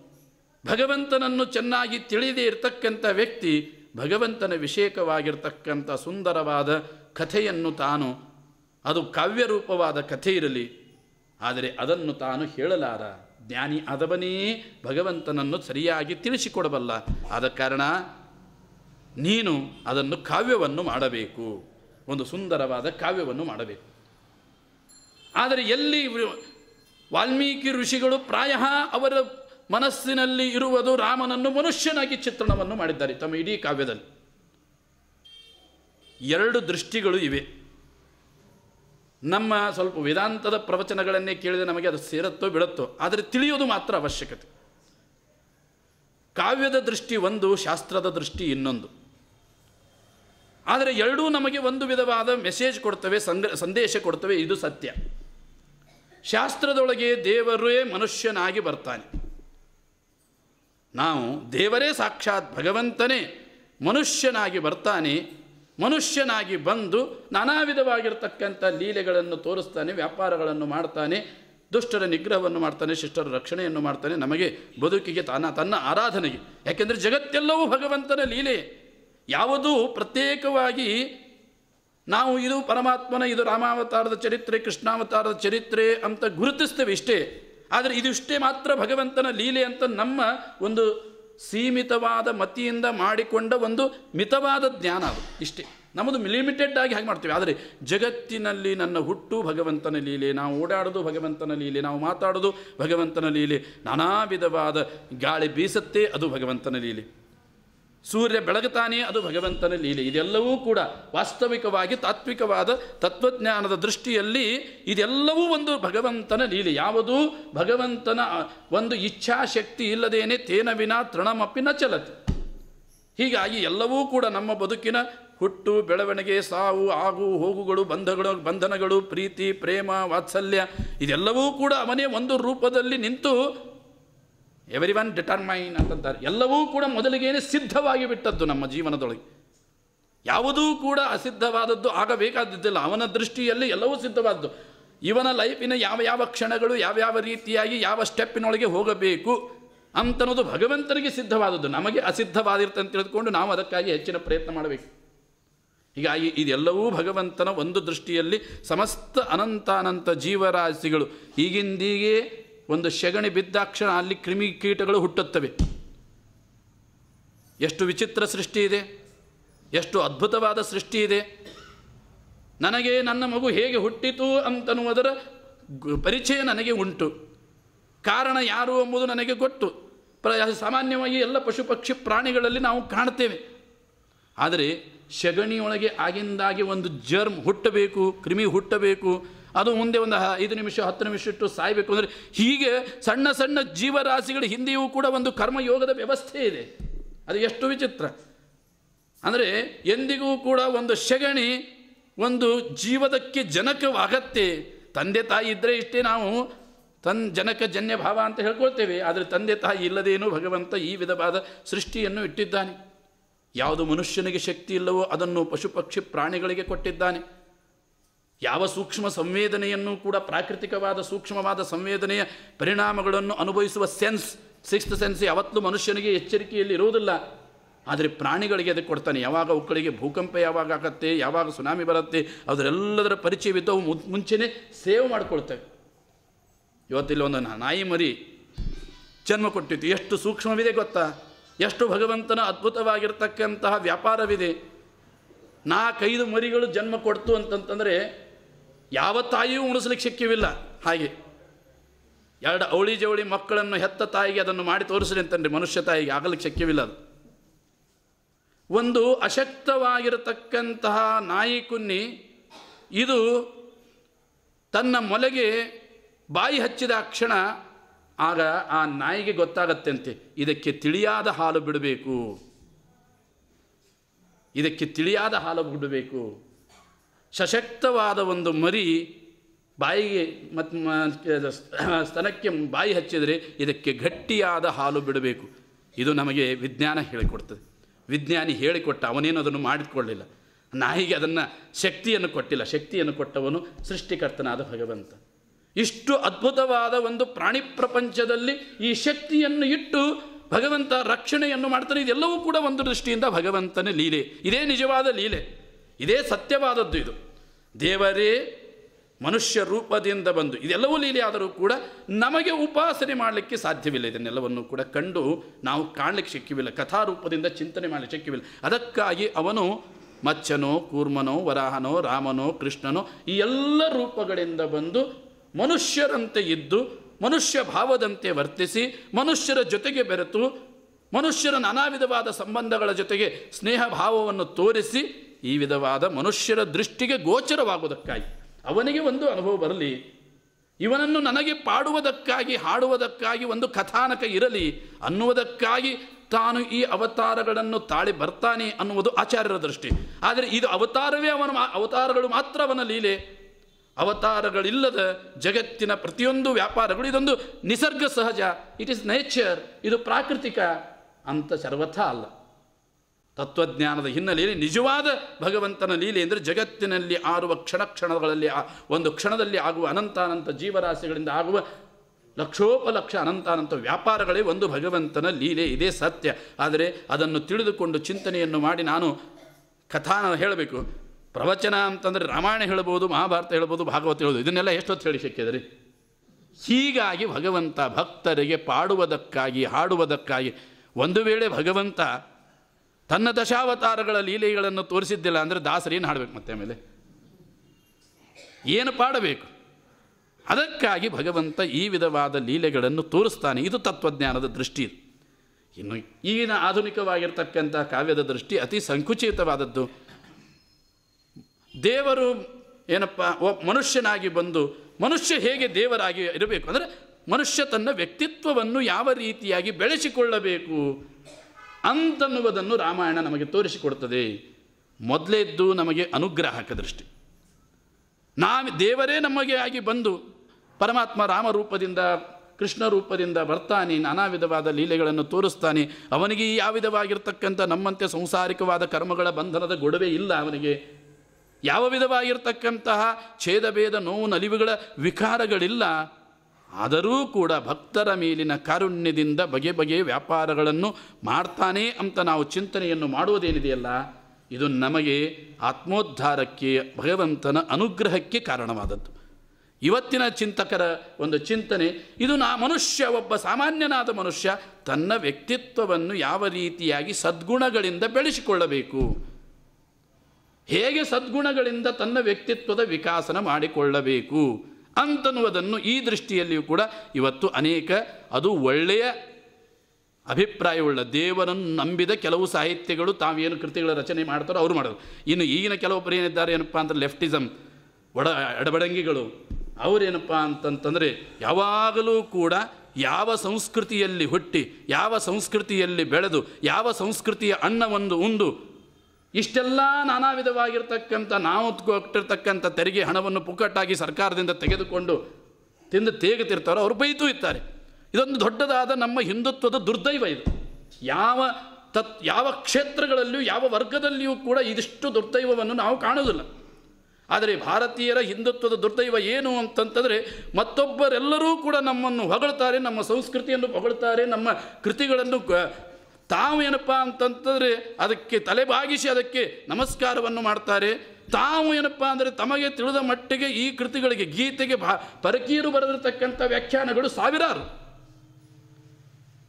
ಅವರೆಲ್ಲರೂ ಗೌರವದಿಂದ ಕಂಡರೆ ಆದರೆ ನಮ್ಮವರೇ ನಮ್ಮ ಕೃತಿಗಳನ್ನು ಹೀಯಾಳಿಸುವುದರಲ್ಲಿ ಬಹಳ ಮುಂದಿರ್ತಾರೆ. ಇದೇ ನಮ್ಮ ಭಾರತೀಯ ಒಂದು ಸಂಸ್ಕೃತಿಗೆ ಅಂಟಿಕೊಂಡ ದೊಡ್ಡದಾದ ಕಲಂಕ ಅದು. ಇವತ್ತಿಗೂ ಕೂಡ ಏನಪ್ಪ ಅಂತಂತಂದರೆ ನಾವು ಬಹಳ ಆ ವಾದಿಗಳು, ಈ ವಾದಿಗಳು ಅಂತ ಹೇಳಿ, ಹೇಳಿಕೊಂಡು ನಾವೇ ನಿಜವಾಗಿರ್ತಕ್ಕಂಥ ನಮ್ಮ ಪರಂಪರೆ, ಸಾಧ್ಯವಾಗಿರ್ತಕ್ಕಂಥ ಪರಂಪರೆ, ಬೌದ್ಧನ ಪರಂಪರೆ, ಬಸವನ ಪರಂಪರೆ ಅಂತ ಹೇಳಿಕೊಂಡು ವಾಸ್ತವಿಕವಾದ, ವಸ್ತುನಿಷ್ಠವಾದ ಅಲ್ಲಿರತಕ್ಕಂಥ ಚಿಂತನೆಗಳು ಆ ಕಾಲದಲ್ಲಿ, ಆ ಸಂದರ್ಭದಲ್ಲಿ ಯಾಕೆ, ಏನು, ಯಾವ ಹಿನ್ನೆಲೆಯಲ್ಲಿ ನಾವು ಯಾರನ್ನು ಆದರ್ಶದಿಂದ ನಾವು ಗುಣಗಾನವನ್ನು ಮಾಡ್ತೇವೆ, ಆ ಆದರ್ಶದ ವ್ಯಕ್ತಿಗಳು ಯಾಕೆ ಅಂತಹ ಪ್ರಸಂಗದಲ್ಲಿ ಏಕೆ ನಿರ್ಣಯವನ್ನು ತೆಗೆದುಕೊಳ್ಳಬೇಕಾಗಿತ್ತು? ಆ ನಿರ್ಣಯವನ್ನು ತೆಗೆದುಕೊಳ್ಳದೇ ಇದ್ದರೆ ಮುಂದಿನ ಸಮಾಜಕ್ಕೆ ಎಂತಹ ಘೋರ, ಘೋರವಾದ ಸಂದೇಶ ಹೋಗ್ತಾ ಇತ್ತು? ಇದರ ಇನ್ ಆಲೋಚನೆಯನ್ನು ಮಾಡದೇನೆ. ನಾಲ್ಕು ಮಂದಿ ತಮಗೆ ಏನಪ್ಪ ಅಂತಂತಂದ್ರೆ ತಮ್ಮ ಫಾಲೋವರ್ಸ್ ನಾವೊಬ್ಬರು ವಿಚಾರವಾದಿಗಳು ಅಂತ ಬೇಕಾದರೆ ನಡೆದು ಬಂದ ಪರಂಪರೆಯನ್ನು ನಿಂದ ಮಾಡಲಿಕ್ಕೆ ವಿಚಾರವಾದಿಗಳು, ಇಷ್ಟೇ. ಇದ್ದದ್ದನ್ನು ಸರಿಯಾಗಿ ಇದ್ದದ್ದನ್ನು ಸರಿಯಾಗಿ ಹೇಳಿದ್ರೆ ವಿಚಾರವಾದಿಗಳು ಅಂತ ಅನಿಸೋದಿಲ್ಲ ನೋಡ್ರಿ. ಹೀಗಾಗಿ ಅದನ್ನು ನಿಂದೆ ಮಾಡಲಿಕ್ಕೆ ಹೋಗೋದು ನಿಂದೆ ಮಾಡಿಬಿಟ್ರೆ ನಾವು ವಿಚಾರವಾದಿಗಳು. ಹಾಗಾದರೆ ಈ ದೋಷಗಳು ಮತ್ತೊಬ್ಬರಲ್ಲಿಲ್ಲವೇ ಹಾಗಾದರೆ ಅವ್ರ ನಿಂದ ಮಾಡಿ ನೋಡೋಣ ನೀವು. ಮೂರ್ತಿಯನ್ನು ಕಂಡ್ರೆ ಕಲ್ಲು ಒಗಿಬೇಕು ಅಂತ ಹೇಳ್ತಾರೆ. ಜಗತ್ತಿನಲ್ಲಿ ನಮ್ಮದೇ ಒಂದೇ ಸಿದ್ಧಾಂತ ಸಾರ್ವಕಾಲಿಕ ಅಂತ ಹೇಳ್ತಾರೆ. ಅದಕ್ಕಾಗಿ ಬೇಕು ಬೇಕಾದ್ದು ಮಾಡಲಿಕ್ಕೆ ಸಿದ್ಧರಿದ್ದಾರೆ. ಇಡೀ ಭಾರತವನ್ನು ಲೂಟಿ ಮಾಡಿದರು. ಇಡೀ ನಮ್ಮ ಏನಪ್ಪ ಅಂದರೆ ಸ್ತ್ರೀ ಪ್ರಪಂಚವನ್ನು ಹಾಳು ಮಾಡಿ ಹಾಕಿದರು. ಹಾಗಾದರೆ ಆ ಸಂದರ್ಭದಲ್ಲಿ ಅವರೆಲ್ಲ ಅದೃಷ್ಟ ಘಟನೆಗಳು, ಅದುಷ್ಟ ವ್ಯಾಪಾರಗಳು ಇವರಿಗೆ ಎಚ್ಚರಿಕೆ ಬರಲಿಲ್ಲ ಕಾಣಿಸುತ್ತೆ. ಅವರು ಮಾಡಿದ್ದೆಲ್ಲವೂ ಕೂಡ ಸತ್ಯವಾಯಿತು ಅವರಿಗೆ. ಯಾಕೆಂದರೆ ಕೆಲ ಕೇವಲ ತಾತ್ಕಾಲಿಕವಾಗಿರ್ತಕ್ಕಂತಹ ಹೋಟಿಗಾಗಿ ನಿಂತದ್ದೇ ಹೊರತು ಪ್ರಜೆಗಳ ಪ್ರಾಮಾಣಿಕವಾಗಿ ಶ್ರೇಯಸ್ಸಿಗಾಗಿ ಪ್ರಜೆಗಳ ಪ್ರಾಮಾಣಿಕವಾದ ಸಾರ್ವಾಂಗೀರ್ಣವಾದ ಎಲ್ಲ ಪ್ರಜೆಗಳು ಕ್ಷೇಮದಿಂದ ಇರಬೇಕು. ಅಂತನ್ನುವ ಹಿತದ ದೃಷ್ಟಿ ರಾಜನಿಗೆ ಎತ್ತು ಅಂತಂತಂದರೆ ವಾಸ್ತವಿಕವಾಗಿ ಇಂತಹ ದುರಂತ ನಮ್ಮ ಭಾರತೀಯ ಸಂಸ್ಕೃತಿಗೆ ಬರ್ತಿದ್ದಿಲ್ಲ. ಆದರೆ ಇದು ಇಲ್ಲದ್ದಕ್ಕಾಗಿ ಈ ಸಂಸ್ಕೃತಿ, ಯಾಕೆಂದರೆ ಬೈಲಿಕ್ಕೆ ರಾಮಾಯಣವನ್ನು ಎಷ್ಟು ಪ್ರಯೋಗ ಮಾಡಿಕೊಂಡಿದ್ದಾರೋ ರಾಮನನ್ನು ರಾಮಾಯಣವನ್ನು ಇದು ಎಷ್ಟು ಹೊಗಳಿಕೆಗೆ ಕಾರಣವಾಗಿದೆಯೋ ಅಷ್ಟೇ ಬೈಯುಗಳ ಬೈಯುಗರ ಭಾಷೆಗೂ ಕೂಡ ಇದು ಅಷ್ಟೇ ತುತ್ತಾಗಿತ್ತು ಮಹಾಭಾರತವನ್ನು ತಟ್ಟಲಿಕ್ಕೆ ಬಹಳ ಆಗಿಲ್ಲ ಅದಕ್ಕೆ ಅವರಿಗೆ. ಆ ರಾಮಾಯಣವನ್ನು ತಟ್ಟಲಿಕ್ಕೆ ಬಹಳ ಪ್ರಯತ್ನ ಪಟ್ಟಿದ್ದಾರೆ ಯಾಕೆಂದರೆ ಸ್ವಲ್ಪ ಪುಟ್ಟದಾದ ಗ್ರಂಥ ಮತ್ತು ಈ ಕಾವ್ಯಕ್ಕೆ ಹೋಲುವ ಗ್ರಂಥ. ಈ ಕಾವ್ಯಗಳಿಗೆ, ಕಾವ್ಯಶಾಸ್ತ್ರಕ್ಕೆ ಹೋಲುವ ಗ್ರಂಥವಾದದ್ದರಿಂದಾಗಿ ವ್ಯಕ್ತಿಯನ್ನು ಪೂಜೆ ಮಾಡ್ತಾರೆ. ಆ ವ್ಯಕ್ತಿಯನ್ನು ತಮ್ಮ ಅಂತ ಹೇಳ್ಕೊಳ್ತಾರೆ. ಆದರೆ ಆ ವ್ಯಕ್ತಿ ಆಡಿದ ಮಾತುಗಳನ್ನು, ಆ ವ್ಯಕ್ತಿ ಹೇಳಿದ ವಿಚಾರಗಳನ್ನು ನಂಬುವುದಿಲ್ಲ. ವಿಚಿತ್ರ ಇದೆ. ವ್ಯಕ್ತಿ ತಮಗೆ ಹೋಟಿಗೆ ಬೇಕಾಗಿದೆ. ಅದಕ್ಕಾಗಿ ಅವನ ಹೆಸರು ಸೂಟಿ ಕೊಡ್ತಾರೆ. ಆದರೆ ಅದೇ ವ್ಯಕ್ತಿ ಬರೆದವನು ಅಂತ ಒಪ್ಪುತ್ತಾರೆ. ಆದರೆ ಆ ವ್ಯಕ್ತಿಯೇ ಪ್ರಾಮಾಣಿಕವಾಗಿ ಭಕ್ತಿಯಿಂದ, ಶ್ರದ್ಧೆಯಿಂದ ನಿರೂಪಿಸಿರ್ತಕ್ಕಂತಹ ತತ್ವಗಳ ಬಗ್ಗೆ ಅವರಿಗೆ ವಿಶ್ವಾಸವಿಲ್ಲ. ರಾಮಾಯಣವನ್ನು ಬರೆದವನು ಯಾರು? ವಾಲ್ಮೀಕಿ ಅಲ್ಲವೇ? ಅವರ ದೃಷ್ಟಿಯಲ್ಲಿ ವಾಲ್ಮೀಕಿ ಬೇಡರವನಲ್ಲವೇ? ನೀವು ಬೇಡರ ಹೋಟಿಗಾಗಿಯೇ ವಾಲ್ಮೀಕಿಯಾಗೆ ಜಯಂತಿ ಮಾಡ್ತಿರಲ್ಲವೇ? ಹಾಗಾದರೆ ವಾಲ್ಮೀಕಿ ಜಯಂತಿ ಕೇವಲ ವಾಲ್ಮೀಕಿ ಬೇಡದವನೋದಕ್ಕಾಗಿಯೋ ವಾಲ್ಮೀಕಿ ರಾಮಾಯಣ ಬರೆದನೋದಕ್ಕಾಗಿಯೋ? ವಾಲ್ಮೀಕಿ ವ್ಯಕ್ತಿತ್ವವನ್ನು ನೀವು ಗುರುತಿಸುವುದು ಯಾವುದಕ್ಕಾಗಿ? ವಾಲ್ಮೀಕಿಯ ವ್ಯಕ್ತಿತ್ವದ ಮಾನದಂಡ ಯಾವುದು? ರಾಮಾಯಣದಂತಹ ದಿವ್ಯವಾಗಿರ್ತಕ್ಕಂತಹ ಮಹಾನ್ ಗ್ರಂಥವನ್ನು ಭಾರತೀಯ ಸಂಪೂರ್ಣವಾಗಿರ್ತಕ್ಕಂಥ ಆದಿಕಾವ್ಯ, ಭಾರತೀಯರ ಒಂದು ಅಶಿಷ್ಟವಾದ ಸಂಸ್ಕೃತಿಯನ್ನು ಜನಮನಕ್ಕೆ ಕೊಟ್ಟಿರ್ತಕ್ಕಂಥ ಕಾವ್ಯ, ಯಾವ ಕಾವ್ಯದಿಂದಾಗಿ ಇಡೀ ಜಗತ್ತಿನಲ್ಲಿ ಒಂದು ವಿಶಿಷ್ಟವಾದ ವಿಶಿಷ್ಟವಾದ, ಒಂದು ಸಣ್ಣದಾದ ಪುಟ್ಟ ಸಂಸಾರದಿಂದ ಆರಂಭ ಮಾಡಿಕೊಂಡು ರಾಷ್ಟ್ರದವರೆಗೂ ಕೂಡ ಒಂದು ಸಂವಿಧಾನ ನಿರೂಪಣೆಯಾಯಿತು. ಇಲ್ಲದೇ ಇದ್ದರೆ ಈ ಸಂವಿಧಾನವನ್ನು ಯಾರೂ ಬರೆದಿಲ್ಲ. ತಂದೆ ತಾಯಿಯ ಜೊತೆಗೆ ಹೇಗಿರಬೇಕು, ಅಣ್ಣ ತಮ್ಮಂದರ ಜೊತೆಗೆ ಹೇಗಿರಬೇಕು, ಅಕ್ಕ ತಂಗಿಯರ ಜೊತೆಗೆ ಹೇಗಿರಬೇಕು ಸತಿಪತಿಯರಂದ್ರೇನು ರಾಜಮಂತ್ರಿ ಅಂತಂದ್ರೇನು ಇದನ್ನೆಲ್ಲವನ್ನೂ ಕೂಡ ಸಂಸ್ಕೃತಿಯನ್ನು ಕೊಟ್ಟ ಗ್ರಂಥ. ಅವನು ಇಂತಹ ಗ್ರಂಥವನ್ನು ರಚನೆ ಮಾಡಿ ನಮಗೆ ಕೊಟ್ಟಿದ್ದಾನಂತಲವೇ ಗೌರವ. ಹಾಗಾದರೆ ಯಾವ ವ್ಯಕ್ತಿಯನ್ನು ಅವನು ಪೂಜಿಸಿ, ಆರಾಧಿಸಿ, ಗೌರವಿಸಿ ವ್ಯಕ್ತಿಯನ್ನು ಪೂಜಿಸಿದನು, ಆ ವ್ಯಕ್ತಿಯು ನಮಗೆ ಬೇಕಾಗಿಲ್ಲ, ರಾಮ ಬೇಕಾಗಿಲ್ಲ. ಆದರೆ ರಾಮಾಯಣವನ್ನು ಬರೆದ ವಾಲ್ಮೀಕಿ ಹೋಟಿಗಾಗಿ ಬೇಕು ನಮಗೆ. ಇದು ನಮ್ಮ ನಮ್ಮವರೇ ನಮಗೆ ನಿಂತು ಮಾಡುವ ದೊಡ್ಡದಾಗಿರ್ತಕ್ಕಂತಹ ದುರಂತ ಒಂದು ಇವತ್ತು ನಾವು ಸಮಾಜದಲ್ಲಿ ಕಾಣ್ತೇವೆ. ಹೀಗಾಗಿ, ಆದರೆ ನವಾ ಅಂದರೆ ಬ್ರಹ್ಮದೇವರು ಹೇಳ್ತಾರೆ ವಾಲ್ಮೀಕಿಗೆ, ನೀನು ಚಿಂತೆ ಮಾಡಬೇಡ. ಬಗಳ್ತಿರ್ತವೆ ನಾಯಿಗಳು, ಆದರೆ ನೀನು ಚಿಂತೆ ಮಾಡಬೇಡ. ಅದರಿಂದಾಗಿ ನಿನಗೆ ನಾನು ಅನುಗ್ರಹ ಮಾಡ್ತೇನಪ್ಪ ವಾಲ್ಮೀಕಿ. ರಹಸ್ಯಂಚ ಪ್ರಕಾಶಂಚ ಯದ್ವೃತ್ತಂ ತಸ್ಯ ಧೀಮತಃ. ರಾಮಸ್ಯ ಸಹುಸೌಮಿತ್ರೇ ರಾಕ್ಷಸಾನಾಂಚ ಸೌರಶ ಸರ್ವಶಃ. ನೀನೇನು ಚಿಂತಾಕ್ರಾಂತವಾಗಬೇಡಲ್ಲ ವಾಲ್ಮೀಕಿ, ನಿನಗೆ ಇಷ್ಟು ಅದ್ಭುತವಾದ ನನ್ನ ಅನುಗ್ರಹದಿಂದಾಗಿ ಜ್ಞಾನವಾಗತ್ತೆ. ಈಗಾಗಲೇ ರಾಮ ರಾಜ್ಯವಾಳಲಿಕ್ಕತ್ತಿದ್ದಾನೆ ಇಂತಹ ಸಂದರ್ಭದಲ್ಲಿ ಆಗಿ ಹೋದ ಎಲ್ಲ ಪ್ರಸಂಗಗಳು. ದಶರಥ ಇದ್ದಾಗ ಅವನು ತನ್ನ ಸತಿಯರ ಜೊತೆಗೆ ಮಾ, ಆಡಿದ ಮಾತುಗಳೇನು? ಮಂತ್ರಿಗಳ ಜೊತೆಗೆ ಆಡಿದ ಮಾತೇನು ವಶಿಷ್ಠ ವಿಶ್ವಾಮಿತ್ರರ ಜೊತೆಗೆ ಆಡಿದ ಮಾತುಗಳೇನು? ರಾಮಾದಿ ತನ್ನ ಮಕ್ಕಳ ಜೊತೆಗೆ ಆಡಿದ ಮಾತನೇನು ಯಾವ ರೀತಿ ವ್ಯವಹಾರ ಮಾಡಿದ? ದಶರಥ ಮಾಡಿದ್ದು, ಅವರ ತಾಯಂದರು ಮಾಡಿದ್ದು, ಪ್ರಜೆಗಳು ಮಾತನಾಡಿದ್ದು, ಸಣ್ಣ ಸಣ್ಣ ಸಣ್ಣ ವ್ಯಕ್ತಿಗಳೂ ಕೂಡ ಮಾತನಾಡಿದ್ದು, ನಿನಗೆ ನಿನ್ನ ಧ್ಯಾನ ಯೋಗದಲ್ಲಿ ಸಮಗ್ರವಾಗಿರ್ತಕ್ಕಂತಹ ಅವರು ಮಾಡಿದ ಸಂವಾದಗಳು, ಅವರ ಧ್ವನಿಗಳು ಏನಿವೆಯಲ್ಲ ಆ ಧ್ವನಿಗಳ ಪರಿಚಯ ನಿನಗಾಗತ್ತೆ. ಇದು ವಾಲ್ಮೀಕಿ ಋಷಿಗಳಿಗೆ ಬ್ರಹ್ಮದೇವರು ಮಾಡುವ ಏನು ಅದ್ಭುತವಾಗಿರ್ತಕ್ಕಂಥ ವಿಲಕ್ಷಣವಾದ ಅನುಗ್ರಹ. ಆಗಿ ಹೋದದ ಚರಿತ್ರೆಯನ್ನು ಬರೆಯೋದು ಬೇರೆ. ಆದರೆ ಆ ಆದು ಹೋದ ವ್ಯಕ್ತಿಗಳ ಧ್ವನಿಗಳು ಮನಸ್ಸಿನಲ್ಲಿ ಸ್ಫುರಣವಾಗಿ ಅವರು ಆಡಿದ ಮಾತುಗಳೇ ಬರಬೇಕು. ಏನು ದಶರಥ ರಾಜ ತನ್ನ ಹೆಂಡತಿ ಕೈಕೇಯ ಜೊತೆಗೆ ಮಾತನಾಡಿದ, ಕೌಸಲ್ಯ ಜೊತೆಗೆ ಏನು ಮಾತನಾಡಿದ, ಇವೆಲ್ಲವೂ ಕೂಡ ಅವನ ಮನಸ್ಸಿನಲ್ಲಿ ಸ್ಫುರಣ ಬರಬೇಕು. ಶಬ್ದ ರೂಪದಲ್ಲಿ ಬಂದು ಶ್ಲೋಕ ರೂಪದಲ್ಲಿ ಮುಂದೆ ರಚನೆಯಾಗಬೇಕದು. ಹಾಗೆ ನಿನಗೆ ನಾನು ಅನುಗ್ರಹವನ್ನು ಮಾಡುತ್ತೇನೆ ನತೇವಾ ಅನೃತ ಕಾವ್ಯೇ ಕಾಚಿದತ್ರ ಭವಿಷ್ಯತಿ. ನೀನು ಆಡಿದ ಯಾವ ಮಾತುಗಳು ಕೂಡ ಇಲ್ಲಿ ಸುಳ್ಳಾಗುವುದಿಲ್ಲಪ್ಪ. ನೀನು ಆಡಿದ ಎಲ್ಲ ಮಾತುಗಳು ಕೂಡ ಸತ್ಯವಾಗತ್ತೆ.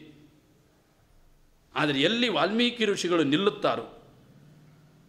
ರಾಮಾಯಣದಲ್ಲಿ ರಾಮನನ್ನು ಮನುಷ್ಯನಾಗಿ ಚಿತ್ರಣವನ್ನು ಮಾಡ್ತಾ ಇರುವಾಗ ಮನುಷ್ಯತ್ವದ ಮೇಲೆ ಬರುವ ಅನೇಕ ಶಂಕೆಗಳು ಬಂದಾಗ ಅಲ್ಲಿ ಆಚಾರ್ಯರು ಎಚ್ಚರಿಕೆ ಕೊಡ್ತಾರೆ. ಆಗ ಉತ್ತರವನ್ನು ಕೊಡ್ತಾರೆ ನಮಗೆ. ಎಲ್ಲಿ ವಾಲ್ಮೀಕಿ ಋಷಿಗಳು ನಿಲ್ತಾರೋ ಆಗ ಮುಂದೆ ಆಚಾರ್ಯರ ಪ್ರವೇಶವಾಗತ್ತೆ. ಅವರು ಇದ್ದಿದ್ದಿಲ್ಲ ಅಂದರೆ ರಾಮಾಯಣದ ಸಂಪೂರ್ಣವಾಗಿರ್ತಕ್ಕಂತಹ ಯಾವ ಪ್ರಸಂಗಗಳ ತಾತ್ವಿಕ ಅರ್ಥವನ್ನು ಕೂಡ ಅಲ್ಟಿಮೇಟ್ ಡಿಸಿಷನ್ ನಾವು ಮಾಡಿಕೊಳ್ಳಿ ಶಕ್ಯವಿಲ್ಲ. ಕೇವಲ ಮನುಷ್ಯ ದೃಷ್ಟಿಯಿಂದ ವಿಚಾರವನ್ನು ಮಾಡಲಿಕ್ಕೆ ಹೋದರೆ ಯಾರೂ ನಿರ್ಣಯ ಮಾಡಲಿಕ್ಕೆ ಬಿಡೋದು ಅದು ಅಹಲ್ಯ ಪ್ರಸಂಗವಿರಬಹುದು, ವಾಲಿಯ ಪ್ರಸಂಗವಿರಬಹುದು, ಅಥವಾ ಏನಪ್ಪ ಅಂದರೆ ರಾವಣನ ಮುಂತಾದ ಅನೇಕ ಪ್ರಸಂಗಗಳಿರಬಹುದು, ಅಥವಾ ಕೊನೆಗೆ ಸೀತೆಯನ್ನು ಏನಪ್ಪ ಅಂದರೆ ಕಾಡಿಗೆ ಕಳಿಸಿದ ಪ್ರಸಂಗವಿರಬಹುದು.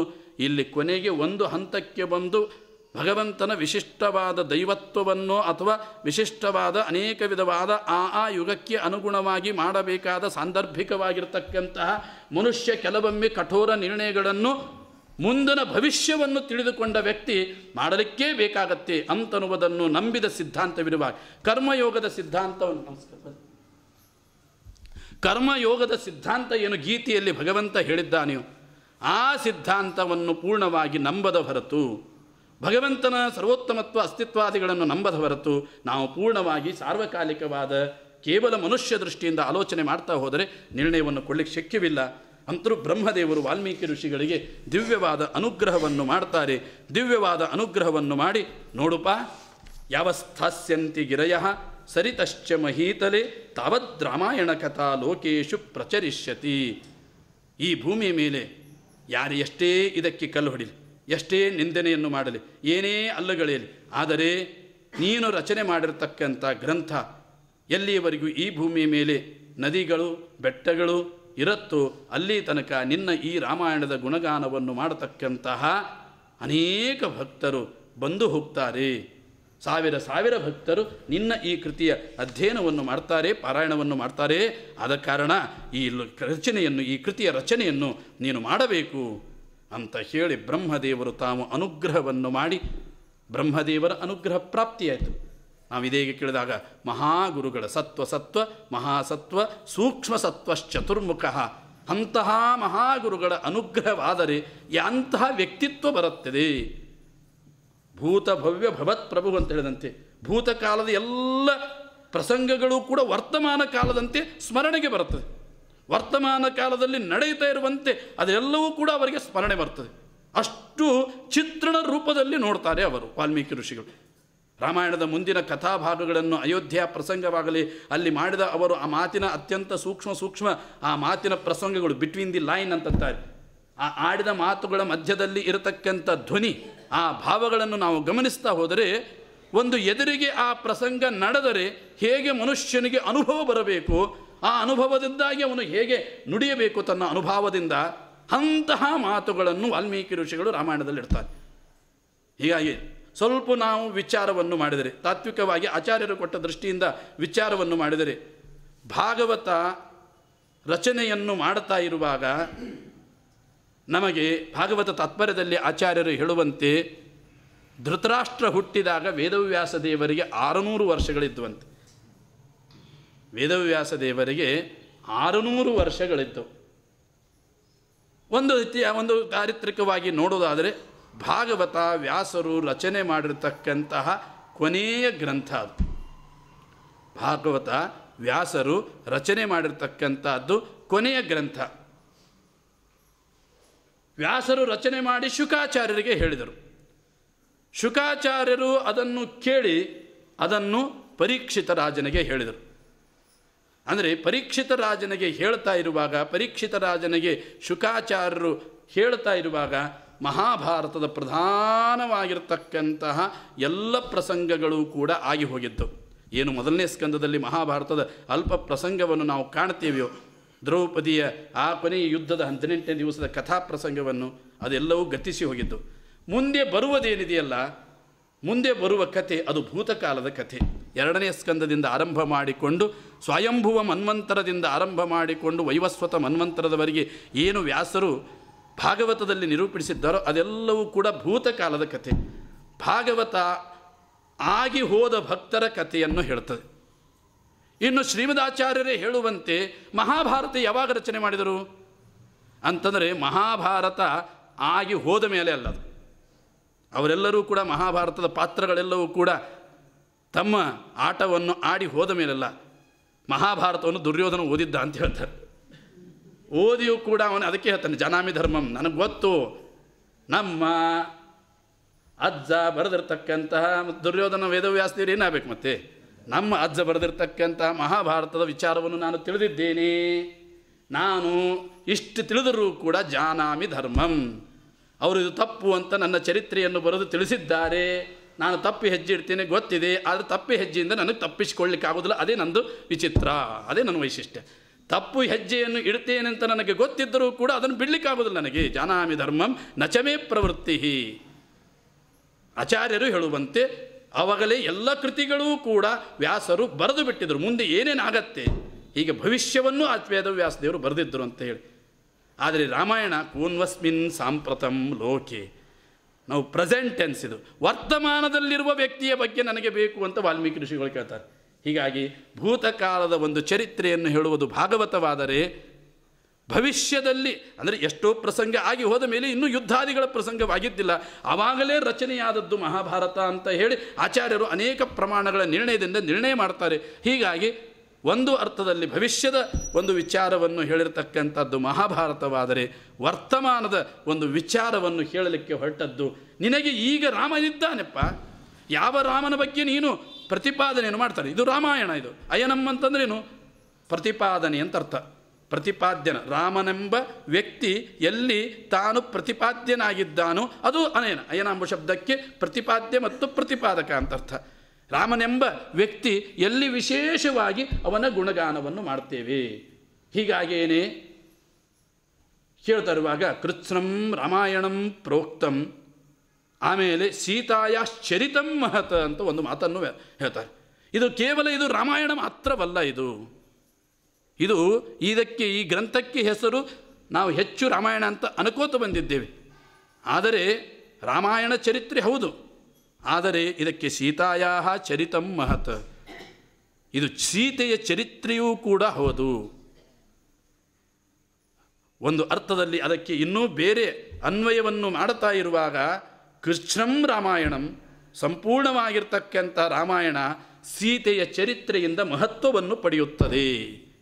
ಸೀತೆ ಎಂಬ ಪಾತ್ರವಿದ್ದಿದ್ದಿಲ್ಲ ಅಂತಂತಂದರೆ ಸೀತೆ ಎಂಬ ವ್ಯಕ್ತಿಯ ಒಂದು ಅಲ್ಲಿ ಅಭಿನಿವೇಶ ಇದ್ದಿದ್ದಿಲ್ಲ ಅಂತಂತಂದರೆ ಆ ಕಥ ಅದು ಪೂರ್ಣತೆಯನ್ನು ಪಡೆಯುತ್ತಿದ್ದಿಲ್ಲ ಒಬ್ಬ ವ್ಯಕ್ತಿ ತಾನು ಒಂದು ಘಟ್ಟದ ಸಂಸಾರಿಯನ್ನು ಅನುಭವಿಸಿ ನಂತರದಾಗ ಒಂದೊಂದು ಪೂರ್ಣತೆ. ಹಾಗೆ ಸೀತಾಯ ಚರಿತಂ ಮಹತ್, ಇದಕ್ಕೆ ಮಹತ್ವ ಯಾಕೆ ಬರುತ್ತೆ ಅಂತಂತಂದರೆ ರಾಮನ ಅನುಸ್ಯೂತವಾಗಿ ಅವನ ಹೆಜ್ಜೆಗೆ ಹೆಜ್ಜೆಯಾಗಿ, ಅವನ ಗುಣಕ್ಕೆ ಒಬ್ಬ ಪ್ರತಿಬಿಂಬಳಾಗಿ, ಬಿಂಬಕ್ಕೆ ಪ್ರತಿಬಿಂಬಳಾಗಿ ಸೀತೆ ತಾನು ಆ ರಾಮಾಯಣದುದ್ದಕ್ಕೂ ಹೆಜ್ಜೆಯನ್ನು ಇಟ್ಟಿದ್ದಾಳೆ.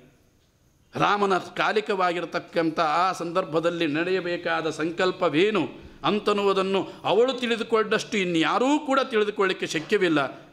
ಆದ್ದರಿಂದಾಗಿ ಇದು ಸೀತೆಯ ಮಹತ್ತರವಾದ ರಾಮಾಯಣಕ್ಕೆ, ರಾಮನ ಚರಿತ್ರೆಗೆ ಪೂರ್ಣತೆಯನ್ನು ತಂದುಕೊಟ್ಟ ಒಂದು ಅದ್ಭುತವಾದ ಚರಿತ್ರೆಯಾದದ್ದರಿಂದಾಗಿ ಸೀತಾಯಾಶ್ಚರಿತಂ ಮಹತ. ಪೌಲಸ್ತ್ಯವಧ ಇತಿ ಪ್ರೋಕ್ತಂ. ಇದಕ್ಕೆ ಪೌಲಸ್ತ್ಯವಧ ಅಂತೂ ಇದನ್ನು ಕರೀತಾರೆ. ನಿಜವಾಗಿಯೂ ಕೂಡ ಹಾಗೆ ಇರುವ ಶಬ್ದ ನಮ್ಮಲ್ಲಿ ಇಲ್ಲ. ಶಿಶುಪಾಲ ವಧ ಅಂತ ತಾನು ಕವಿ ಬರೆದು ಹೆಸರಿಟ್ಟ. ಅದಕ್ಕೆ ಪ್ರತಿಯಾಗಿ ವಾದಿರಾಜ ಶ್ರೀಪಾದಂಗಳವರು ರುಕ್ಮಿಣಿ ವಿಜಯ ಅಂತ ಬರೆದರು. ಹೆಸರಿನಲ್ಲೇ ವ್ಯತ್ಯಾಸ ಕಾಣಿಸ್ತೀವಿ ಕೇಳಿದ ಅಕ್ಷರ ಸ್ವಲ್ಪ ಇಂಟ್ರೆಸ್ಟಿಂಗ್ ಇರಬೇಕು. ರುಕ್ಮಿಣೀಶ ವಿಜಯ ಬೇರೆ, ಶಿಶುಪಾಲ. ಅದು ನಡೆದದ್ದು ಒಂದೇ ಪ್ರಸಂಗ. ರುಕ್ಮಿಣಿಯನ್ನು ವಿಜಯದ ಸಂಪಾದನೆ ಪ್ರಸಂಗದಲ್ಲೇನೆ ತಾನು ಮುಂದೆ ಶಿಶುಪಾಲನ ವಧವನ್ನು ಮುಂದೆ ಕೆಲವು ದಿವಸಗಳ ನಂತರ ಮಾಡ್ತಾನೆ. ಆದರೆ ಇಟ್ಟ ಹೆಸರಿನಲ್ಲಿ, ಆದರೆ ಪೌಲಸ್ತ್ಯನೂ ಪ್ರಧಾನ.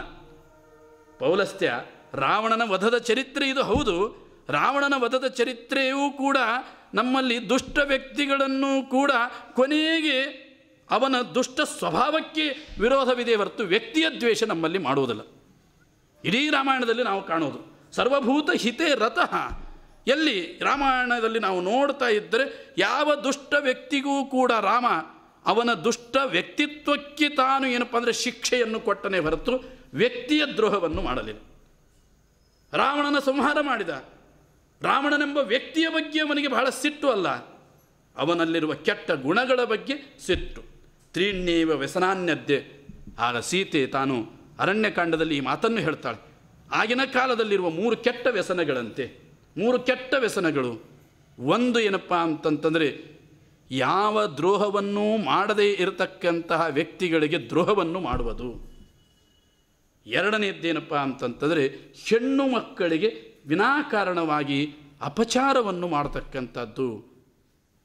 ಯಾ, ರಾಮ ಯಾವಾಗ ಆ ಋಷಿಗಳ ಮುಂದೆ ಪ್ರತಿಜ್ಞೆಯನ್ನು ಮಾಡ್ತಾನೆ. ನಾನೇನಪ್ಪ ಅಂದರೆ ನಿಮಗೆ ತೊಂದರೆಯನ್ನು ಕೊಟ್ಟಿರತಕ್ಕಂಥ ಎಲ್ಲ ಖರದೂಷಣಾದಿಗಳ ಸಂಹಾರವನ್ನು ಮಾಡಿ ನಿಮ್ಮ ತಪಸ್ಸು ನಿರ್ವಿಘ್ನವಾಗಿ ಆಗುವಂತೆ ನಾನು ಮಾಡ್ತೇನೆ ಅಂತಂದಾಗ ಆಗ ಸೀತೆ ಹೇಳ್ತಾಳೆ. ಮತ್ತೊಬ್ಬರ ಸಂಪತ್ತನ್ನು ಅಪಹಾರ ಮಾಡಿಕೊಳ್ಳುವ ಬುದ್ಧಿ ಹಾಗೂ ವಿನಾಕಾರಣವನ್ನು ದ್ವೇಷ ಮಾಡಿ ಮತ್ತೊಬ್ಬರನ್ನು ನಾಶ ಮಾಡುವ ಬುದ್ಧಿ ಹಾಗೂ ಸ್ತ್ರೀ ಸಂಪತ್ತನ್ನು ಹಾಳು ಮಾಡುವ ಬುದ್ಧಿ ಆಗಿನ ಕಾಲದಲ್ಲಿ ಇತ್ತು. ಅದು ಎಂದಿಗೂ ಇತ್ತು, ಈಗಿಂದು ಹೆಚ್ಚಾಗಿದೆ. ಅಂದೇ ಇತ್ತು. ತೀರ್ಣೇವ ವ್ಯಸನಾನ್ನದ್ದೆ ಅಂತ ಅಲ್ಲಿ ಹೇಳ್ತಾಳೆ ಅವರು ಇಂತಹ ಒಂದು ಸಂದರ್ಭದಲ್ಲಿ ರಾಮ ಆ ದುಷ್ಟ ವ್ಯಾಪಾರಗಳನ್ನು ಮಾಡತಕ್ಕಂತಹ ವ್ಯಕ್ತಿ ದ್ವೇಷಕ್ಕಿಂತಲೂ ಕೂಡ ಅವರು ಮಾಡುವ ದುಷ್ಟ ಒಂದು ಏನು ವ್ಯಾಪಾರಗಳಿಗೆ ತಾನು ನಿಗ್ರಹವನ್ನು ಮಾಡಿದ.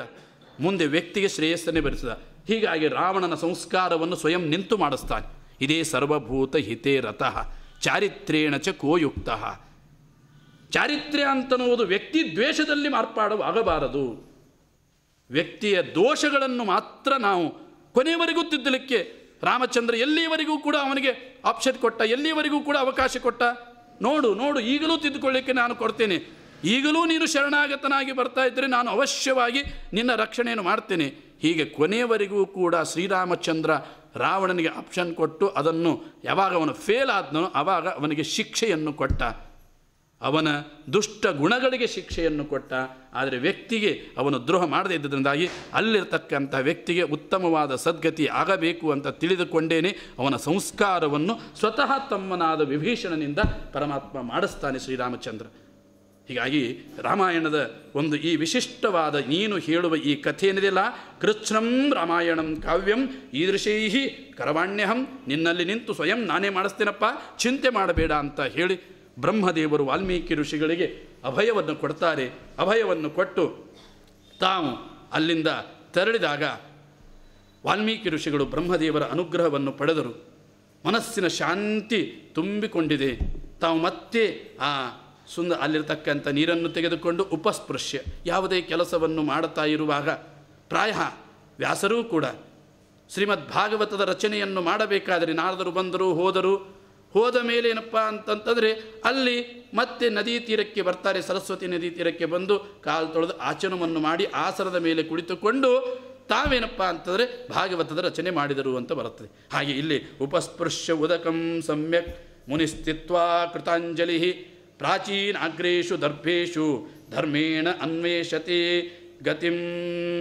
ತಾವೇನಪ್ಪ ಅಂದರೆ ಆಚಮನಾದಿಗಳನ್ನು ಮಾಡಿದರು. ಆಚಮನಾದಿಗಳನ್ನು ಮಾಡಿ ದರ್ಭಾಸನದ ಮೇಲೆ ಕುಳಿತುಕೊಂಡು ಒಂದು ಬಾರಿ ಬ್ರಹ್ಮದೇವರು ಹೇಳಿದ್ದರು, ತಾವು ಆ ಭಗವಾತ್ಮನ ಸಂಪೂರ್ಣವಾಗಿರತಕ್ಕಂತಹ ಭಗವಂತನ ಯೋಗ ಬಲ ಅವರ ಅನುಗ್ರಹವನ್ನು ಮಾಡಿದ್ದಾರೆ. ಭಗವಂತನ ವಿಶಿಷ್ಟವಾದ ಯೋಗ ಬಲೇನ ಅಂತ ಹೇಳ್ತಾರೆ. ಯೋಗ ಅಂಬುವ ಶಬ್ದಕ್ಕೆ ಮೂರು ಅರ್ಥಗಳನ್ನು ಹೇಳುತ್ತದೆ ಭಾಗವತ. ಯೋಗ ಅಂತಂದರೆ ಮೊದಲು ಪ್ರಸಿದ್ಧವಾದ ಗೀತೆಯಲ್ಲಿ ಲೌಕಿಕವಾಗಿ ನಾವು ಕಾಣೋದಾದರೆ ಉಪಾಯ ಅಂತ ಅರ್ಥ ಎರಡನೇ ಅರ್ಥ ಜ್ಞಾನ ಅಂತ ಅರ್ಥ ಇನ್ನೊಂದು ಮೂರನೇ ಅರ್ಥ ವಿಜ್ಞಾನ ಅಂತ ಅರ್ಥ ಯೋಗ ಬಲ ಏನಂದ್ರೆ ತಮ್ಮ ವಿಜ್ಞಾನದ ಬಲದಿಂದಾಗಿ, ಸಮಾಧಿ ಯೋಗದ ಬಲದಿಂದಾಗಿ. ಒಂದು ಬಾರಿ ಧ್ಯಾನಾಸಕ್ತರಾದರೆ ಸಂಪೂರ್ಣವಾಗಿರ್ತಕ್ಕಂತಹ ಪಾಣೋ ಅಮಲಕಮ್ಯಥ ಒಂದು ನೆಲ್ಲಿಕಾಯಿಯನ್ನು ಕಾ, ಒಂದು ಕೈಯಲ್ಲಿ ಹಿಡಿದುಕೊಂಡರೆ ಅದರ ಮೇಲು ತೊಳಗೆ ಎಡಕ್ಕೆ ಬುಡಕ್ಕೆ ಹೇಗೆ ಕಾಣಬೇಕು?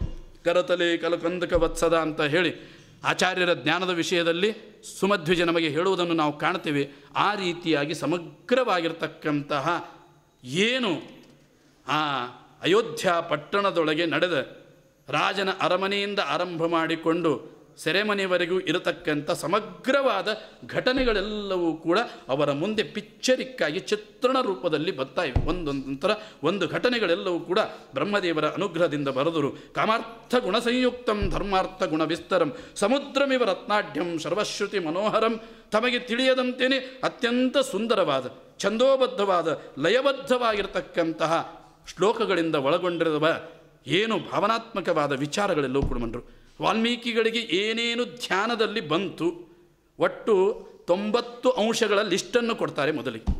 ಅವರಿಗೆ ಎಲ್ಲಿಂದ? ಜನ್ಮರಾಮಸ್ಯ ಸುಮಹದ್ವೀರ್ಯಂ ಸರ್ವಾನುಕೂಲತಾಂ, ಲೋಕಸ್ಯ ಪ್ರಿಯತಾಂ ಕ್ಷಾಂತಿಂ ಸೌಮ್ಯತಾಂ ಶತ್ ಶೀಲತಾಂ, ನಾನಾ ಚಿತ್ರ ಕಥಾಶ್ಚಾನ್ಯಾ ವಿಶ್ವಾಮಿತ್ರ ಸಮಾಗಮೇ. ಎಲ್ಲ ವಿಧವಾಗಿರ್ತಕ್ಕಂಥ ರಾಮನ ಜನ್ಮ ಜನ್ಮ ಪೂರ್ವಭಾವಿಯಾಗಿ ಮಾಡಿರ್ತಕ್ಕಂಥ ಯಜ್ಞ, ಶೃಂಗ ಋಷ್ಯಶೃಂಗರು ಬಂದದ್ದು. ಅದಾದ ಮೇಲೆ ಏನಪ್ಪ ಅಂದರೆ ವಿಶ್ವಾಮಿತ್ರರು ಬಂದದ್ದು. ವಿಶ್ವಾಮಿತ್ರರಾದ ಮೇಲೆ ಅವರ ಜೊತೆಗೆ ತಾನು ಏನಪ್ಪ ಅಂದರೆ ಸಿದ್ಧಾಶ್ರಮಕ್ಕೆ ಹೋದದ್ದು. ಸಿದ್ಧಾಶ್ರಮಕ್ಕೆ ಹೋಗುವಾಗ ಮಧ್ಯದಲ್ಲಿ ನಡೆದ ಘಟನೆಗಳು. ಸಿದ್ಧಾಶ್ರಮದಿಂದ ಮತ್ತೆ ಮರಳಿ ಸ್ವಯಂವರಾರ್ಥಿಯಾಗಿ ಬರ್ತಾ ಇರುವಾಗ ನಡೆದ ಪ್ರಸಂಗಗಳು. ಅವೆಲ್ಲವೂ ಕೂಡ ಅವರ ಸ್ಮರಣೆಗೆ ಒಂದೊಂದು ಒಂದೊಂದು ಒಂದೊಂದು ಘಟನೆಗಳು ಬರ್ತಾ ಬರ್ತಾ ಬರ್ತಾ ಹೀಗೆ ಒಟ್ಟೂಡಿಸಿ ತನ್ನ ಚರಿತ್ರೆಗೆ ತಾನೇ ಮುದ್ರೆಯನ್ನು ಒಪ್ಪಿದ. ವಾಲ್ಮೀಕಿ ಋಷಿಗಳು ಬರೆದ ಕರೆ, ಕಥೆ, ವಾಲ್ಮೀಕಿ ಋಷಿಗಳು ತನ್ನ ಚರಿತ್ರೆಯನ್ನು ಬರೆದಿದ್ದಾರೆ. ಸಮಕಾಲೀನನಾಗಿರ್ತಕ್ಕಂಥ ಕೋನ್ವಸ್ಮಿನ್ ಸಾಂಪ್ರತಂ ಲೋಕೆ ಈಗಿರ್ತಕ್ಕಂಥ ಲೋಕದಲ್ಲಿ ಒಬ್ಬ ವೀರ್ಯವಂತನಾದ ದೃಢ ನಿಶ್ಚಯ ಉಳ್ಳತಕ್ಕಂತಹ, ಧರ್ಮಜ್ಞನಾದ, ಕೃತಜ್ಞನಾಗಿರ್ತಕ್ಕಂತಹ, ಸತ್ಯವಾಕ್ಯನಾದ, ಚಾರಿತ್ರ್ಯದಿಂದ ಕೂಡಿದಿರ್ತಕ್ಕಂತಹ ಸರ್ವಭೂತಗಳಲ್ಲಿ ಹಿತರತಿಯನ್ನು ಉಳತಕ್ಕಂಥ ಒಬ್ಬ ವ್ಯಕ್ತಿ ಯಾರು ಅಂತನ ವಾಲ್ಮೀಕಿ ಋಷಿಗಳು ಪ್ರೆಸೆಂಟೆನ್ಸ್ ವರ್ತಮಾನ ಕಾಲದಲ್ಲಿರುವ ವ್ಯಕ್ತಿಯನ್ನು ತಾನು ದೃಷ್ಟಾಂತವಾಗಿ ಹಾಡಿರತಕ್ಕಂಥದ್ದಕ್ಕೆ ರಾಮನೇ ಮುದ್ರಿಕೆಯಾಗಿ ಕೊಟ್ಟ.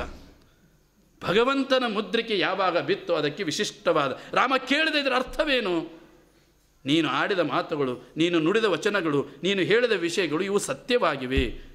ಏನು ನಡೆದಿದೆಯೋ ನೀನು ಪರಮಗುರುವಾಗಿರತಕ್ಕಂತಹ ಬ್ರಹ್ಮದೇವರ ಅನುಗ್ರಹಕ್ಕೆ ಪಾತ್ರನಾಗಿ ನನ್ನ ಚರಿತ್ರೆಯನ್ನು ಯಥಾವತ್ತಾಗಿ, ನಿನ್ನ ಯೋಗ್ಯತಾನುಗುಣವಾಗಿ, ಪರಿಪೂರ್ಣವಾಗಿ ನೀನು ತಿಳಿಸಿದ್ದೀಯಪ್ಪ ಅಂತ ಹೇಳಿ ಅದನ್ನು ಮುದ್ರಿಕೆಯನ್ನು ವಿಶ್ವಾಮಿತ್ರರಿಗೂ ಕೂಡ ಅನುಗ್ರಹ ಮಾಡುವುದಕ್ಕಾಗಿ ರಾಮ ತೆರಳಿದಂತೆ ಇಲ್ಲಿ ಶ್ರೀರಾಮಚಂದ್ರ ಆ ತನ್ನ ಚರಿತ್ರೆಯನ್ನೇ ತಾನು ಕೇಳಿ ತಾನು ಅದರಲ್ಲಿ. ಇದು ದೈವೀ ತತ್ವದ ಒಂದು ವೇದಾಂತದ ಹಿನ್ನೆಲೆಯಲ್ಲಿ ನಾವು ಆಚಾರ ಮಾಡೋದಾದ್ರೆ ಯಾಕೆ ಶ್ರೀರಾಮಚಂದ್ರ ಅದನ್ನು ಆಲಿಸಿದ ಅಂತಂತಂದರೆ ತನ್ನ ಚರಿತ್ರೆಗೆ ತನ್ನ ಸಮ್ಮತಿಯ ಮುದ್ರಿಕೆಯನ್ನು ಕೊಡುವುದಕ್ಕಾಗಿ ತಾನು ಸಂಪೂರ್ಣವಾಗಿರ್ತಕ್ಕಂತಹ ಅದನ್ನು ಆಲಿಸ್ತಾನೆ. ವಿಚಿತ್ರಾರ್ಥ ಪದಂ ಸಮ್ಯಕ್ ಗಾಯಕವು ಸಮಚೋದಯತಾಂ.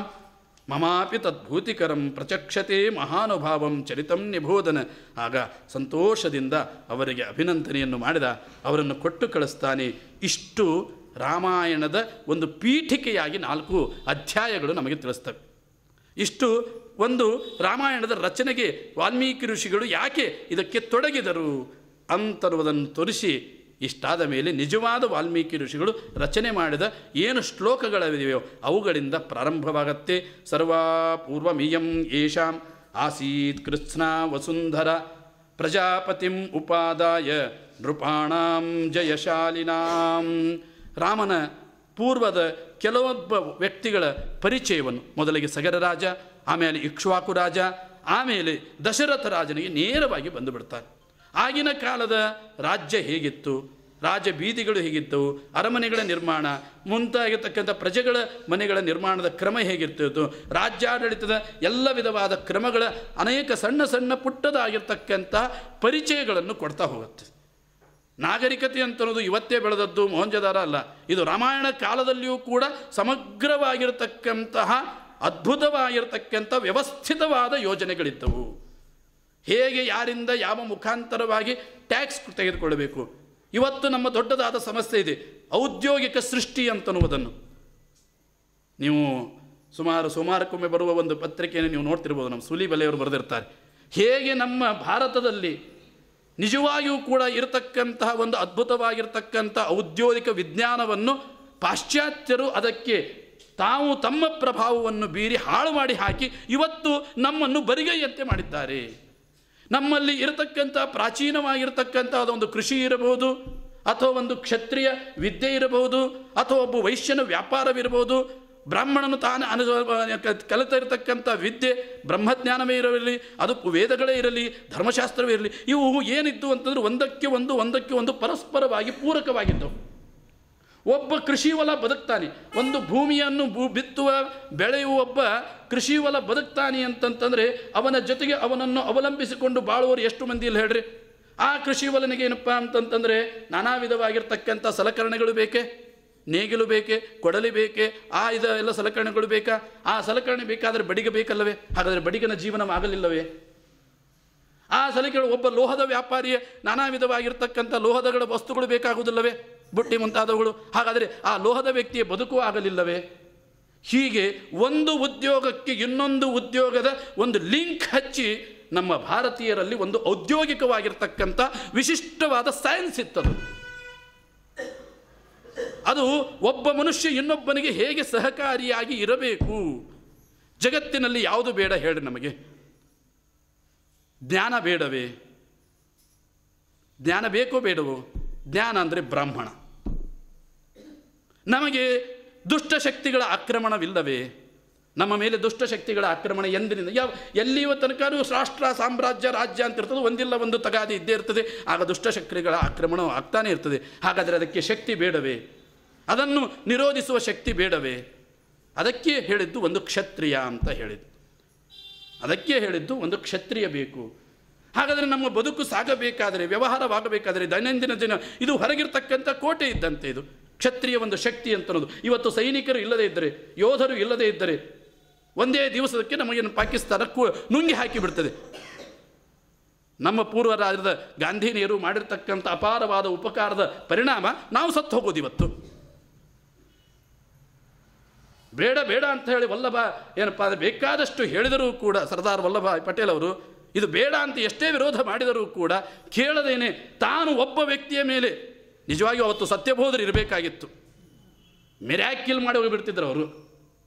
ಅವರು ಹೇಗೆ ಹಿಂದೂ ಸಾಮ್ರಾಜ್ಯ ಮತ್ತು ಮೊಘಲ ಸಾಮ್ರಾಜ್ಯವನ್ನು ಸಂಯೋಜನೆ ಮಾಡಿ ವ್ಯವಸ್ಥಿತವಾಗಿ ಸಂಯೋಜನೆಗೊಳಿಸಿದ. ಅನೇಕವರ ಚರಿತ್ರೆಯಲ್ಲಿ ಎಷ್ಟು ಬಾರಿ ಮೊಘಲ ಸಾಮ್ರಾಜ್ಯದ ಆಡಳಿತಗಾರರು ಹಿಂದೂ ಸಾಮ್ರಾಜ್ಯದ ಮೇಲೆ ತಮ್ಮ ಆಕ್ರಮಣವನ್ನು ಮಾಡಬೇಕು ಅಂತಂದಾಗ ಅದಕ್ಕೆ ಪ್ರತೀಕವಾಗಿ ಹಾನಿಯನ್ನು ಕೊಟ್ಟು ನಾನು ಇಲ್ಲಿದ್ದೇನೆ ಅಂದ ತಕ್ಷಣ ಅವರೆಲ್ಲ ಶರಣಾಗತರಾಗ್ತಾಯಿದ್ರು ಏನಿತ್ತು ರೀ ಜಸ್ಟ್ ಪೋಸ್ಟ್ ಒನ್ ಪೋಸ್ಟ್ ಸ್ವಲ್ಪ ದಿವಸ ಅವನ ಹಠ ಇತ್ತು. ನನಗೆ ಪಿ ಎಂ ಮಾಡಿರಿ. ಇಲ್ಲದೆ ಇದ್ರೆ ಬೇರೆ ರಾಜ್ಯ ಮಾಡಿ. ರಾಷ್ಟ್ರ ಕೊಡು. ನನಗೆ ಪಿ ಎಂ ಮಾಡಿ. ಇಲ್ಲ, ಅವನೇ ಆಗಬೇಕು. ಅವನು ಆಗಬೇಕು ಅಂದ್ರೆ ನನಗೆ ಬೇರೆ ದೇಶ ಕೊಡು. ನಮಗೆ ಬೇರೆ ನಮ್ಮ ನಾವು ವಿಭಾಗ ಮಾಡ್ಕೋತೀವಿ. ನಮ್ಮದು ನಾವು ವಿಭಾಗ ಯಾಕೆ ಆಯಿತು? ಒಂದು ಸರ್ತಿ ಜಿನ್ನಾಗಿ ಪಿ ಎಂ ಮಾಡಿಬಿಟ್ಟಿದ್ದ ಏನಾಗಬೇಕಿತ್ತು ಎಷ್ಟು ದಿವಸ ಬದುಕ್ತಿದ್ರೆ ಅವನು? ಅವನಿಗೆ ಮಾಡಿಬಿಟ್ಟಿದ್ದ ಅಂತಂತಂದರೆ ನಮಗೆ ಅವಿಭಕ್ತವಾಗಿ ಎಲ್ಲಿಯವರೆಗೆ ಸಿಂಧೂ ನದಿ ಇದೆಯೋ, ಎಲ್ಲಿಯವರೆಗೆ ನಮ್ಮ ಭಾರತದ ಒಂದು ಪ್ರಾಂತವನ್ನು ಭಾಗವತ ಅಳೆದು ತೋರಿಸಿದೆಯೋ, ಅದೆಲ್ಲವೂ ಕೂಡ ಇವತ್ತು ನಮ್ಮದಾಗ್ತಿತ್ತು ಕೇವಲ ಒಂದು ಸ್ಥಾನಕ್ಕಾಗಿ, ತಾತ್ಕಾಲಿಕವಾದ ಒಂದು ತನ್ನ ಪ್ರತಿಷ್ಠೆಗಾಗಿ ಇಡೀ ನಮ್ಮ ದೇಶವನ್ನೇ ಒಡೆದು ಬಿಟ್ಟರು. ಸ್ಟೇಟ್ ಡಿವೈಡ್ ರೂಲ್ಸ್ ಪಾಲಿಸಿ ಇದು ಬಂತು ಯಾವಾಗ ಅಂದರೆ ಇವರಿಂದಾಗಿ. ಇದು ಕೂಡ ಮಹಾಭಾರತ ನಮಗೆ ತಿಳಿಸಿಕೊಡ್ತದೆ. State divide rules policy Bhishmachar ಮಾಡಿಬಿಟ್ರಲ್ವೇ? ಯಾವಾಗ ಹಸ್ತಿನಾಪುರವನ್ನು ತಾವು ಪ್ರತ್ಯೇಕ ಮಾಡಿ ಅಣ್ಣ ತಮ್ಮಂದಿರ ಪೀಡೆಯನ್ನು ಅವರ ದಾಯಾದಿಗಳ ಜಗಳವನ್ನು ತಡಿದೆ ತಡಿದೆ ತಡಿದೆ, ತಲೆಗೆ ಕೆರಕೊಂಡು ಕೆರಕೊಂಡು ಕೊನೆಗೆ ತೊಂದರೆಗೆ ಒಳಗಾಗಿ ಈ ರೂಲ್ಸ್ ಮಾಡಿಬಿಟ್ರು. ಕೊನೆಗೆ ಕದನದಲ್ಲಿ ವಿರಾಮ ಅದು ಅಂತ್ಯ ಕಾಣಿತು. ಹಾಗೆ ಜಗತ್ತಿನಲ್ಲಿ ಅವಿಭಕ್ತವಾಗಿ ಶ್ರೀರಾಮಚಂದ್ರ ಅದನ್ನು ಮಾಡಲಿಲ್ಲ. It is the difference of Bhishmacharya and Rama ಇದೇ ವ್ಯಕ್ತಿತ್ವದ ಪರ್ಸನಾಲಿಟಿ ರಾಮಚಂದ್ರ ಇಡೀ ಸಾಮ್ರಾಜ್ಯವನ್ನು ಅಖಂಡವಾಗಿ ಕಂಡವನು. ಇಡೀ ಸಾಮ್ರಾಜ್ಯದೊಳಗೆ ಹಿಂದುತ್ವವನ್ನು ಅದ್ಭುತವಾಗಿ ಇಟ್ಟವನು. ಶಿಲೋನ್, ಇವತ್ತಿನ ಶ್ರೀಲಂಕಾ. ಯಾಕೆಂದರೆ ನಿಜವಾಗಿಯೂ ಕೂಡ ಏನು ಇವತ್ತು ಸಮುದ್ರೋಲ್ಲಂಘನವನ್ನು ಮಾಡಿದ ಅಂತ ನಾವು ಕೇಳ್ತೇವೆಯೋ, ಸಮುದ್ರೋಲ್ಲಂಘನವನ್ನು ಮಾಡಿದ, ಹನುಮಂತ ಸಮುದ್ರೋಲ್ಲಂಘನವನ್ನು ಮಾಡಿದ್ದಕ್ಕೂ ಇವತ್ತಿನ ನಾವು ರಾಮೇಶ್ವರದಲ್ಲಿ ನಿಂತು ಅದನ್ನು ನೋಡಿಬಿಟ್ರೆ ಇಪ್ಪತ್ತು ಕಿಲೋಮೀಟರ್ ಇದೆ. ಆದರೆ ಶತಯೋಜನ ಅಂತ ಹೊಲಿಸೋದು ಹೇಗೆ? ಹೊಲಿಸೋದು ಭಾಳ ಕಷ್ಟ ಇದೆ. ರೀ ತಲೆ ತಲೆ ಮಾಡಿ ಆದರೆ ಹೇಳ್ತಾರೆ, ಬೇಕಾದಷ್ಟು ಏನಪ್ಪ ಅಂತಂದ್ರೆ ನೀರಿನ ಒತ್ತಡದಿಂದಾಗಿ ಪ್ರದೇಶಗಳು ತಮ್ಮ ಎಷ್ಟೋ ಮೀಟರ್, ಎಷ್ಟೋ ಕಿಲೋಮೀಟರ್ಗಳಷ್ಟು ಹೆಚ್ಚು ಕಡಿಮೆ ಆಗತ್ತೆ. ಇದು ಇವತ್ತಿನ ಏನಪ್ಪ ಅಂದರೆ ಭೌತಿಕ ಸೈನ್ಸ್ನಲ್ಲಿ ಇದು ಅತ್ಯಂತ ಫಿಕ್ಸ್, ಇದು ಸಿದ್ಧವಾದದ್ದು. ವ್ಯತ್ಯಾಸಗಳು ಬೇಕಾದಷ್ಟು ಪರಿಣಾಮಗಳು ಆಗತ್ತೆ. ಅದ್ರ ಏನೇ ಇರಲಿ ಅಂತರೂ ಶ್ರೀರಾಮಚಂದ್ರ ಇಡೀ ಅಖಂಡವಾದ ಸಾಮ್ರಾಜ್ಯವನ್ನು ಒಂದು ದೃಷ್ಟಿಯಿಂದ ಕಾಣುವ ಯಾವುದೇ ಪ್ರಸಂಗದಲ್ಲಿ ವಾಲಿ ಸುಗ್ರೀವರ ಜಗಳದ ಪ್ರಸಂಗದಲ್ಲಿ ನೀವೊಂದಿಷ್ಟು ಆಯ್ಕೋರಪ್ಪ ನೀವೊಂದಿಷ್ಟು ಸುಮ್ಮಿದ್ದು ಬಿಡ್ರಿ, ಅಂತ ಮಾಡ್ಬೋದು. ಹಾಂ ಹಾಂ. ಎಲ್ಲಿ ಯಾವನ ಸರಿ ಯಾವುದು ತಪ್ಪಿದೆ ಅದಕ್ಕೆ ಶಿಕ್ಷೆಯನ್ನು ಕೊಡಬೇಕು, ಒಂದು ಅಖಂಡತೆ ಉಳಿಬೇಕಾದರೆ ಅದು ಅಯೋಧ್ಯ ಪಟ್ಟಣದ ಹಸ್ತಿನಾಪ, ಅಯೋಧ್ಯ ಪಟ್ಟಣದ ಒಂದು ಕೇಂದ್ರಾಡಳಿತಕ್ಕೆ ಇದೂ ಕೂಡ ಇರಬೇಕು. ಒಂದು ದಕ್ಷಿಣದ ಯಾವುದೋ ಒಂದು ಮೂಲೆಯಲ್ಲಿರ್ತಕ್ಕಂಥ ಒಂದು ಅಡವಿ ಪ್ರದೇಶವೂ ಕೂಡ ಹೇಗೆ ಮೂಲವಾದ ಸ್ರೋತವನ್ನು ಅವಲಂಬಿಸಿಕೊಂಡಿರಬೇಕು. ಸಮುದ್ರವನ್ನು ದಾಟಿರ್ತಕ್ಕಂತಹ ಶ್ರೀಲಂಕಾ ಇರ್ಬೋದು, ಸಿಲೋನ್ ಇರ್ಬೋದು, ಅದು ಹೇಗೆ ತನ್ನ ಆಡಳಿತದ ಸೂತ್ರವನ್ನು ವ್ಯಾಪಿಸಿಕೊಂಡು ಇರಬೇಕು. ಸಮುದ್ರವನ್ನು ಒಂದು ನದಿಯೇ ದಾಟಿರ್ತಕ್ಕಂತಹ ನಮ್ಮ ದೇಶವನ್ನು ನಮಗೆ ಉಳಿದುಕೊಳ್ಳಿಕ್ಕೆ ಆಗಲಿಲ್ಲ ಇವತ್ತು. ಆದರೆ ಶ್ರೀರಾಮಚಂದ್ರ ಅದನ್ನು ಉಳಿಸಿಕೊಟ್ಟ, ಇದೇ ರಾಮಾಯಣ ನಮಗೆ ತಿಳಿಸಿಕೊಡುವ, ವಾಲ್ಮೀಕಿ ತಿಳಿಸಿಕೊಡ್ತಕ್ಕಂಥ, ಅಂದರೆ ರಾಷ್ಟ್ರವನ್ನು ಹೇಗೆ ಕಟ್ಟಬೇಕು? ನಮ್ಮ ಪೂರ್ವಜರಾದ ಸೂರ್ಯ ವಂಶೀಯರು ಅದು ದಶರಥ ರಾಜವಿರಲಿ, ಕೋಸಲ ದೇಶ, ಅಥವಾ ಇಕ್ಷ್ವಾಕು ವಂಶ, ಇಕ್ಷ್ವಾಕು ರಾಜ ಇರಲಿ ಸಗರ ರಾಜ ಇರಲಿ ಇವರು ಕೇವಲ ಯಾವುದೋ ಒಂದು ನಮಗೆ ರಾಜರ ಚರಿತ್ರೆಯಾಗಿ ಕೇವಲ ಒಂದು ಸೀಮಿತವಾದ ಅವರು ಮಾಡಿದ ಸಣ್ಣ ಪುಟ್ಟ ಘಟನೆಗಳಲ್ಲ, ನಮ್ಮ ಪ್ರಾದೇಶಿಕವಾದ ವಿಸ್ತೃತಿಯನ್ನು ಹೇಗೆ ಅಖಂಡವಾಗಿ ಕಾಯ್ದುಕೊಂಡು ಬಂದರವರು? ನಾವು ಎಷ್ಟೋ ಬಾರಿ ರಾಮಾಯಣ ಕೇಳಿದ್ದೀವಿ. ಆದರೆ ರಾಮಾಯಣದ ಪ್ರಭಾವ, ರಾಮಾಯಣದಿಂದ ಕೊಟ್ಟ ನಮಗೆ ಇವತ್ತಿನ ಪ್ರೆಸೆಂಟ್ ಕಾಲದ ಇವತ್ತಿನ ವಸ್ತುನಿಷ್ಠವಾಗಿರ್ತಕ್ಕಂಥ, ವಾಸ್ತವಿಕವಾಗಿರ್ತಕ್ಕಂತಹ, ರಾಜಕೀಯವಾಗಿರ್ತಕ್ಕಂಥ, ರಾಜಕೀಯ ಧರ್ಮ. ಯಾಕೆಂದರೆ ನೋಡಿ, ಇಡೀ ನಮಗೆ ನಾನು ಅನೇಕ ಬಾರಿ ಆಲೋಚನೆ ಮಾಡ್ತಿರ್ತದೆ. ಭಾಗವತ ತೆಗೆಯಿರಿ, ರಾಮಾಯಣ ತೆಗೆಯಿರಿ, ಮಹಾಭಾರತ ತೆಗೆಯಿರಿ, ಎಲ್ಲಿ ಬ್ರಾಹ್ಮಣರ ಕತಿ ಬಂದದ್ದು ಹೇಳ್ರಿ? ಭಾ, ಎಲ್ಲೇ ತೆಗೀರಿ ಕೇಳಿದವನು ಕ್ಷತ್ರಿಯ ಪರೀಕ್ಷಿತ. ಹೇಳಿದವನು ಬ್ರಾಹ್ಮಣ ಹೇಳುವುದಿಷ್ಟೇ ಅವನ ಕೆಲಸ. ಆದರೆ ಬಂದದ್ದೆಲ್ಲ ಭಕ್ತರ ಚರಿತ್ರೆಯಲ್ಲಿ ವಿಪುಲವಾಗಿ ವಿಪುಲವಾಗಿ, ಪ್ರಭೂತವಾಗಿ ಬರ್ತಕ್ಕಂಥವರು ರಾಜರೇ ಚರಿತ್ರೆಗಳೇ ಹೆಚ್ಚು ವಿಪುಲವಾಗಿ ಬರ್ತದೆ ಯಾಕೆಂದರೆ ರಾಜಧರ್ಮ ಎಷ್ಟು ಶುದ್ಧವಾಗಿ ಇರುತ್ತೋ ಅಷ್ಟು ಇನ್ನುಳಿದಿರತಕ್ಕಂಥ ಎಲ್ಲ ಧರ್ಮಗಳು ಕೂಡ, ಎಲ್ಲ ವರ್ಣಗಳು ಕ್ಷೇಮದಿಂದ ಇರ್ತವೆ. ರಾಜಧರ್ಮ ಎಷ್ಟು ಪುಣ್ಯಪ್ರದವಾಗಿ ಇರುತ್ತದೆಯೋ, ಎಷ್ಟು ರಾಜನಿಗೆ ಪ್ರಾಮಾಣಿಕತೆ ಇರುತ್ತದೆಯೋ, ಎಲ್ಲ ಪ್ರಜೆಗಳನ್ನು ಕೂಡ ಒಂದು ಸಮದೃಷ್ಟಿಯಿಂದ ಕಾಣುವ ವಿಶಾಲ ಮನೋಭಾವದ ದೃಷ್ಟಿ ಇರುತ್ತದೋ, ಅವನು ಅವನ ಪುಣ್ಯದ ಬಜೆಟ್ ಡೆವಲಪ್ಮೆಂಟ್ ಮಾಡ್ತಾನೆ. ಇವತ್ತು ನಾವು ಎರಡು ಲಕ್ಷ ಕೋಟಿ ಕರ್ನಾಟಕದ ಬಜೆಟ್ ಅಂತೇಳಿ ಮಂಡನೆ ಮಾಡ್ತೇವೆ. ಇವ್ರಿಗೆ ಹೇಳ್ರಿ, ಪುಣ್ಯದ ಬಜೆಟ್ ಮಂಡನೆ ಮಾಡಲಿಕ್ಕೆ ಹೇಳ್ರಿ. ಜೀರೋ ಬರ್ತದಲ್ಲಿ. ಇದೇ ಸಿದ್ದರಾಮಯ್ಯ ಕೇವಲ ನಮ್ಮ ಸತ್ಕರ್ಮಗಳನ್ನು, ಸತ್ಕೃತಿಗಳನ್ನು ನಿಂದೆ ಮಾಡುವುದರಲ್ಲೇನೆ ಕಾಲವನ್ನು ಕಳೆಯುವರು. ಅದಕ್ಕಾಗಿಯೇ ಪೋಷಣೆ ಕೊಡತಕ್ಕಂಥವರಿಗೆ ಎಲ್ಲಿ ಪುಣ್ಯ ಬಜೆಟ್ ಮಂಟನೆ ಮಾಡಲಿಕ್ಕೆ ಬರ್ತದೆ ರೀ ಏನು ಸಾಧ್ಯವಿದೆ ಅವರಿಗೆ? ಯಾವ ಒಂದು ಸಂಸ್ಕೃತಿಯನ್ನು ಇಟ್ಟುಕೊಂಡು ಇಷ್ಟರವರೆಗೆ ಪಾರಂಪರಿಕವಾಗಿ ನೂರಾರು ವರ್ಷದಿಂದ ಬೆಳೆದು ಬಂದ ಅದ್ಭುತವಾಗಿರ್ತಕ್ಕಂಥ ಈ ಚಿತ್ರಣವನ್ನು ಕೊಟ್ಟದ್ದು ಹೇಗೆ ನಾವು ನಮ್ಮ ಒಂದು ಅಖಂಡತೆಯನ್ನು ಬೆಳೆಸಿಕೊಳ್ಳಬೇಕು ಅಂತನ್ನುವುದನ್ನು ತಿಳಿಸಿಕೊಟ್ಟ ಅದು ಯಾಕೆ ನಾವು ರಾಜರ ಚರಿತ್ರೆಯನ್ನೇ ಅನುಸ್ಯೂತವಾಗಿ ಕಥೆಗಳು ಹೇಳ್ತವೆ? ಅನುಸ್ಯೂತವಾಗಿ ಗ್ರಂಥಗಳು ಹೇಳ್ತವೆ. ನಾನು ಆಲೋಚನೆ ಇದು ಯಾಕೆ ಹೇಳಬೇಕಾಗಿತ್ತು? ನಾವು ಬ್ರಾಹ್ಮಣರಲ್ಲ, ಬ್ರಾಹ್ಮಣರ ಕಥೆ, ಋಷಿಮುನಿಗಳ ಕಥೆ ಎಷ್ಟು ಹೇಳಿಬಿಟ್ರು ಮುಗಿದಿತ್ತಲ್ಲ. ನಮಗೆ ಯಾರು ಬೇಕೋ ಅವ್ರನ್ನ ಹೇಳಿಬಿಟ್ರು ಸಾಕು. ಜಪ ಹೆಂಗೆ ಮಾಡಬೇಕು, ತಪ ಹೆಂಗೆ ಮಾಡಬೇಕು, ಅಧ್ಯಯನ ಹೆಂಗೆ ಮಾಡಬೇಕು, ಅಧ್ಯಾಪನ ಹೆಂಗೆ ಮಾಡಬೇಕು? ನಾನಾ ವಿಧವಾಗಿರ್ತಕ್ಕಂಥ ಆಚಾರ ವಿಚಾರಗಳನ್ನು ಹೇಳಿ ಮಾಡಿರ್ತಕ್ಕಂಥ ಅವ್ರ ಚರಿತ್ರೆಯನ್ನು ಅದರ ಜೊತೆಗೆ ಆನುಷಂಗಿಕವಾಗಿ ಸೇರಿಸಿದರು ಪ್ರಧಾನ ಕಥೆಗೆ ಒಂದು ಸಹಕಾರಿಯಾಗಿ ಸೇರಿಸಿದರು. ಆದರೆ ಪ್ರಧಾನವಾಗಿ ರಾಜಋಷಿಗಳ ಚರಿತ್ರೆಯನ್ನೇ ಹೇಳ್ತಾರೆ. ಆ ರಾಜಋಷಿಗಳು ಸಮಗ್ರವಾಗಿ ಏನಪ್ಪ ಅಂತಂದರೆ ಸಪ್ತ ಸಮುದ್ರದವರೆಗೂ ಕೂಡ ವ್ಯಾಪಿಸಿರತಕ್ಕಂಥ ಅಖಂಡವಾದ ಸಾಮ್ರಾಜ್ಯವನ್ನು ಕಟ್ಟಿದರು. ಇಷ್ಟೆಲ್ಲ ಆಳಿದರೂ ಕೂಡ ಕೊನೆಗೆ ಇದರ ಬಗ್ಗೆ ಎಷ್ಟು ನಿರ್ಲಿಪ್ತನಾಗಿ ಇದ್ದ. ಇದು ಭಾಗವತದಲ್ಲಿ ಬರುವ ಪ್ರತಿಯೊಬ್ಬ ರಾಜರ ಚರಿತ್ರೆ ಮೆಸೇಜ್ ಇದೆ. ರಾಮಾಯಣದಲ್ಲಿ ಮಹಾಭಾರತದಲ್ಲಿ ಬರ್ತಕ್ಕಂಥ ಪಾಂಡವರ ಚರಿತ್ರೆಯು ಕೊನೆಗೆ ನಮಗೆ ಮೆಸೇಜ್ ಕೊಡುವುದು ಅಷ್ಟೇ. ಇಷ್ಟು ಸಂಪೂರ್ಣವಾಗಿರ್ತಕ್ಕಂಥ ಅದ್ಭುತವಾಗಿರ್ತಕ್ಕಂಥ ಭೂಮಿಯ ಸಂಪೂರ್ಣವಾದ ಏಕಚಕ್ರಾಧಿಪತಿಯಾಗಿ ಚಕ್ರವರ್ತಿ ಅಂತ ಅನಿಸಿಕೊಂಡಿರ್ತಕ್ಕಂಥ ಯುಧಿಷ್ಠರನು ಕೂಡ ಎಷ್ಟು ನಿರ್ಲಿಪ್ತನಾಗಿ ಇದರ ಬಗ್ಗೆ ಇದ್ದ. ಒಬ್ಬ ರಾಜ ಹೇಗೆ ಇರಬೇಕು, ಮಂತ್ರಿ ಹೇಗೆ ಇರಬೇಕು ಅಂತನ್ನುವುದನ್ನೇ ನಮ್ಮ ಸಂಹಿತೆಗಳು, ನಮ್ಮ ಈ ಗ್ರಂಥಗಳು ತಿಳಿಸಿಕೊಡ್ತವೆ. ಹೀಗಾಗಿ ಮೂರು ಅಧ್ಯಾಯಗಳಲ್ಲಿ ಒಂದು ರಾಷ್ಟ್ರದ ಕಲ್ಪನೆ ಹೇಗೆ ಇರಬೇಕು ಅಂತನ್ನುವುದನ್ನು ವಾಲ್ಮೀಕಿ ಋಷಿಗಳು ಕೊಡ್ತಾ, ಆಯತ ದಶದ್ವೇಚ ಯೋಜನಾನಿ ಮಹಾಪುರಿ ಶ್ರೀಮತಿ ತ್ರೀಣಿ ವಿಸ್ತೀರ್ಣ ಸುಭಿ ಸುವಿಭಕ್ತ ಮಹಾಪಥ. ಇದು ಸಂಪೂರ್ಣವಾಗಿರ್ತಕ್ಕಂತಹ ಈ ಅಯೋಧ್ಯ ಪಟ್ಟಣದ ವಿಸ್ತಾರವೆಷ್ಟಿತ್ತು? ಇಪ್ಪತ್ತು ಯೋಜನೆ ಏನಪ್ಪ ಅಂತಂದರೆ ವಿಶಾಲವಾಗಿ ಉದ್ದಾಗಿತ್ತು. ಅದೇ ರೀತಿಯಾಗಿ ಮೂ ಮೂರು ಯೋಜನ ಅಗಲವಾಗಿರ್ತಕ್ಕಂಥ ಇದರಲ್ಲಿ ಅನೇಕ ರಾಜಮಾರ್ಗಗಳು, ಅಲ್ಲಿರ್ತಕ್ಕಂಥ ಮಂತ್ರಿಗಳು, ಪ್ರಜಾಪತಿಗಳು ಇವನ್ನೆಲ್ಲರನ್ನೂ ಕೂಡ ತಿಳಿಸ್ತಾ ಮುಂದೆ ಇಂತಹ ಸಮೃದ್ಧವಾಗಿರ್ತಕ್ಕಂತಹ ಈ ರಾಜ್ಯವನ್ನು ಆಳುವ ದಶರಥ ರಾಜನಿಗೆ ತಾನು ಉತ್ತಮವಾದ, ಶ್ರೇಷ್ಠವಾಗಿರ್ತಕ್ಕಂಥ ಅಶ್ವಮೇಧ ಯಜ್ಞವನ್ನು ತಾನು ಮಾಡಬೇಕು ಅಂತ ಅಪೇಕ್ಷೆಯಾಯಿತು. ಯಾಕೆ? ತನಗೆ ಸ ಉತ್ತಮವಾದ ಸಂತಾನವಿಲ್ಲ ಅಂತನ್ನುವ ವ್ಯಥೆ ಮನಸ್ಸಿನಲ್ಲಿ ಎಲ್ಲಿಯೋ ಮೂಲೆಯಲ್ಲಿ ಕೊರಗು ಇದ್ದದ್ದರಿಂದಾಗಿ. ತಾನೊಬ್ಬ ಶ್ರೇಷ್ಠವಾದ ಸಾಕ್ಷಾತ್ತಾಗಿ ಭಗವಂತನ ಒಂದು ಮೂಲ ಪುರುಷನಾದ ಪರಮಾತ್ಮನಿಂದ ಬಂದ ಈ ಸೂರ್ಯವಂಶದೊಳ ಒಬ್ಬ ಚಕ್ರವರ್ತಿಯಾಗಿ ಮೆರೆದು ಇಡೀ ಸಂಪೂರ್ಣವಾಗಿರ್ತಕ್ಕಂಥ ಭೂಮಂಡಲಕ್ಕೆ ಪ್ರಾಯ ದಶರಥ ರಾಜ ಒಬ್ಬ ರಾಜನಾಗಿ ಏನು ನ್ಯಾಯ ಕೊಟ್ಟ ಸಂಸಾರಿಯಾಗಿ ಸ್ವಲ್ಪ ವಿಫಲನಾದ ಅಂತ ಕೇಳ್ತೇವೆ ಇಷ್ಟೇ. ಆದರೆ ರಾಜನಾಗಿ ಏನು ನ್ಯಾಯ ಕೊಟ್ಟ ಅಂತನ್ನುವುದನ್ನು ವಾಲ್ಮೀಕಿ ಋಷಿಗಳು ಅತ್ಯಂತ ಸಮರ್ಪಕವಾಗಿ ಮೊದಲ ಮೂರು ಅಧ್ಯಾಯಗಳಲ್ಲಿ ಅದನ್ನು ನಿರೂಪಣೆಯನ್ನು ಮಾಡ್ತಾರೆ.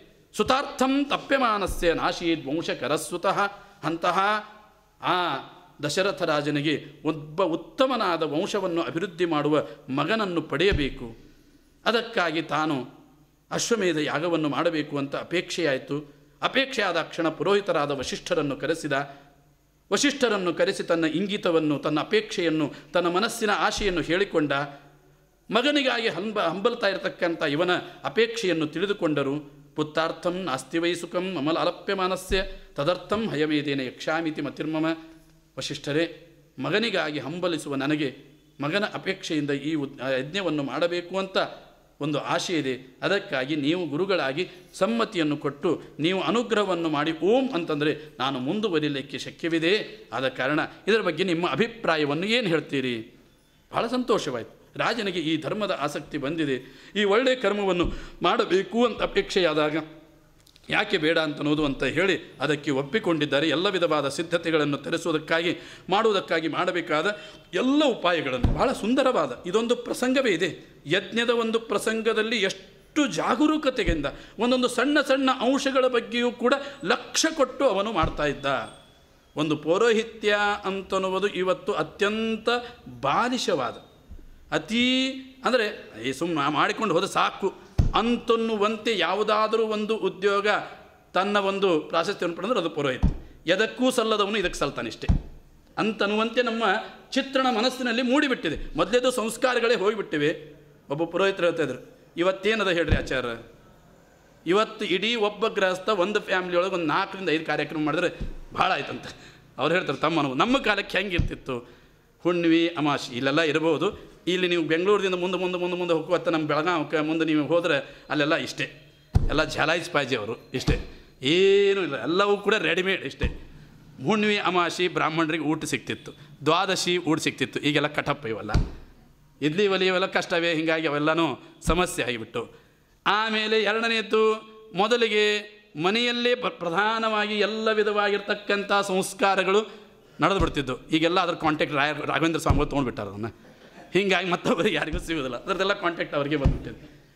ಹೀಗಾಗಿ ಈ ಮನೆಯಲ್ಲಿಯೂ ಸಂಸ್ಕಾರಗಳೆಲ್ಲ ಹೋಗಿಬಿಟ್ಟು. ಇನ್ನು ಒಬ್ಬ ಮಾಡ್ತಾನಂದ್ರೇನು ತಾನು ಒಬ್ಬ ಗೃಹಸ್ಥಾಶ್ರಮಿ ಆದ ಮೇಲೆ ಮದುವೆಯನ್ನು ಮಾಡಿಕೊಳ್ಳಬೇಕು, ಮದುವೆ ಮಾಡ್ಕೊಳ್ತಾನೆ, ಮದುವೆ ಒಂದು ಸಂಸ್ಕಾರ ಪುರೋಹಿತರು ಮಾಡಿಸ್ತಾರೆ. ಅವನಿಗೊಂದು ಉಪನಯನ ಸಂಸ್ಕಾರವಾಗತ್ತೆ. ಇನ್ನು ಮದುವೆ ಆದಮೇಲೆ ಎಲ್ಲ ಸಂಸಾರದ ಒಂದು ವ್ಯವಸ್ಥಿತ ನಡೆದ ಮೇಲೆ ಒಂದು ಮನೆ ಕಟ್ತಾನೆ, ಮನೆ ವಾಸ್ತು ಶಾಂತಿ ಮಾಡ್ತಾನೆ, ಬಹಳ ಉತ್ತಮನಾಗಿದ್ದರೆ ಒಂದು ಪವಮಾನ ಹೋಮ ಮಾಡ್ತಾನೆ, ಮುಗಿದ್ಬಿಡ್ತು. ಮುಂದೇನು? ಹದಿನಾರು ಸಂಸ್ಕಾರಗಳಲ್ಲಿ ಈಗ ಉಳಿದದ್ದು ಕೇವಲ ಮೂರು ನಾಲ್ಕು ಸಂಸ್ಕಾರಗಳು ಅಷ್ಟೇ. ಸಣ್ಣ ಪುಟ್ಟದಾದ ಅವಶ್ಯವಾಗಿ ನಮ್ಮ ದೇಹದ ಶುದ್ಧಿಗಾಗಿ ಮಾಡಿಕೊಂಡದ್ದು.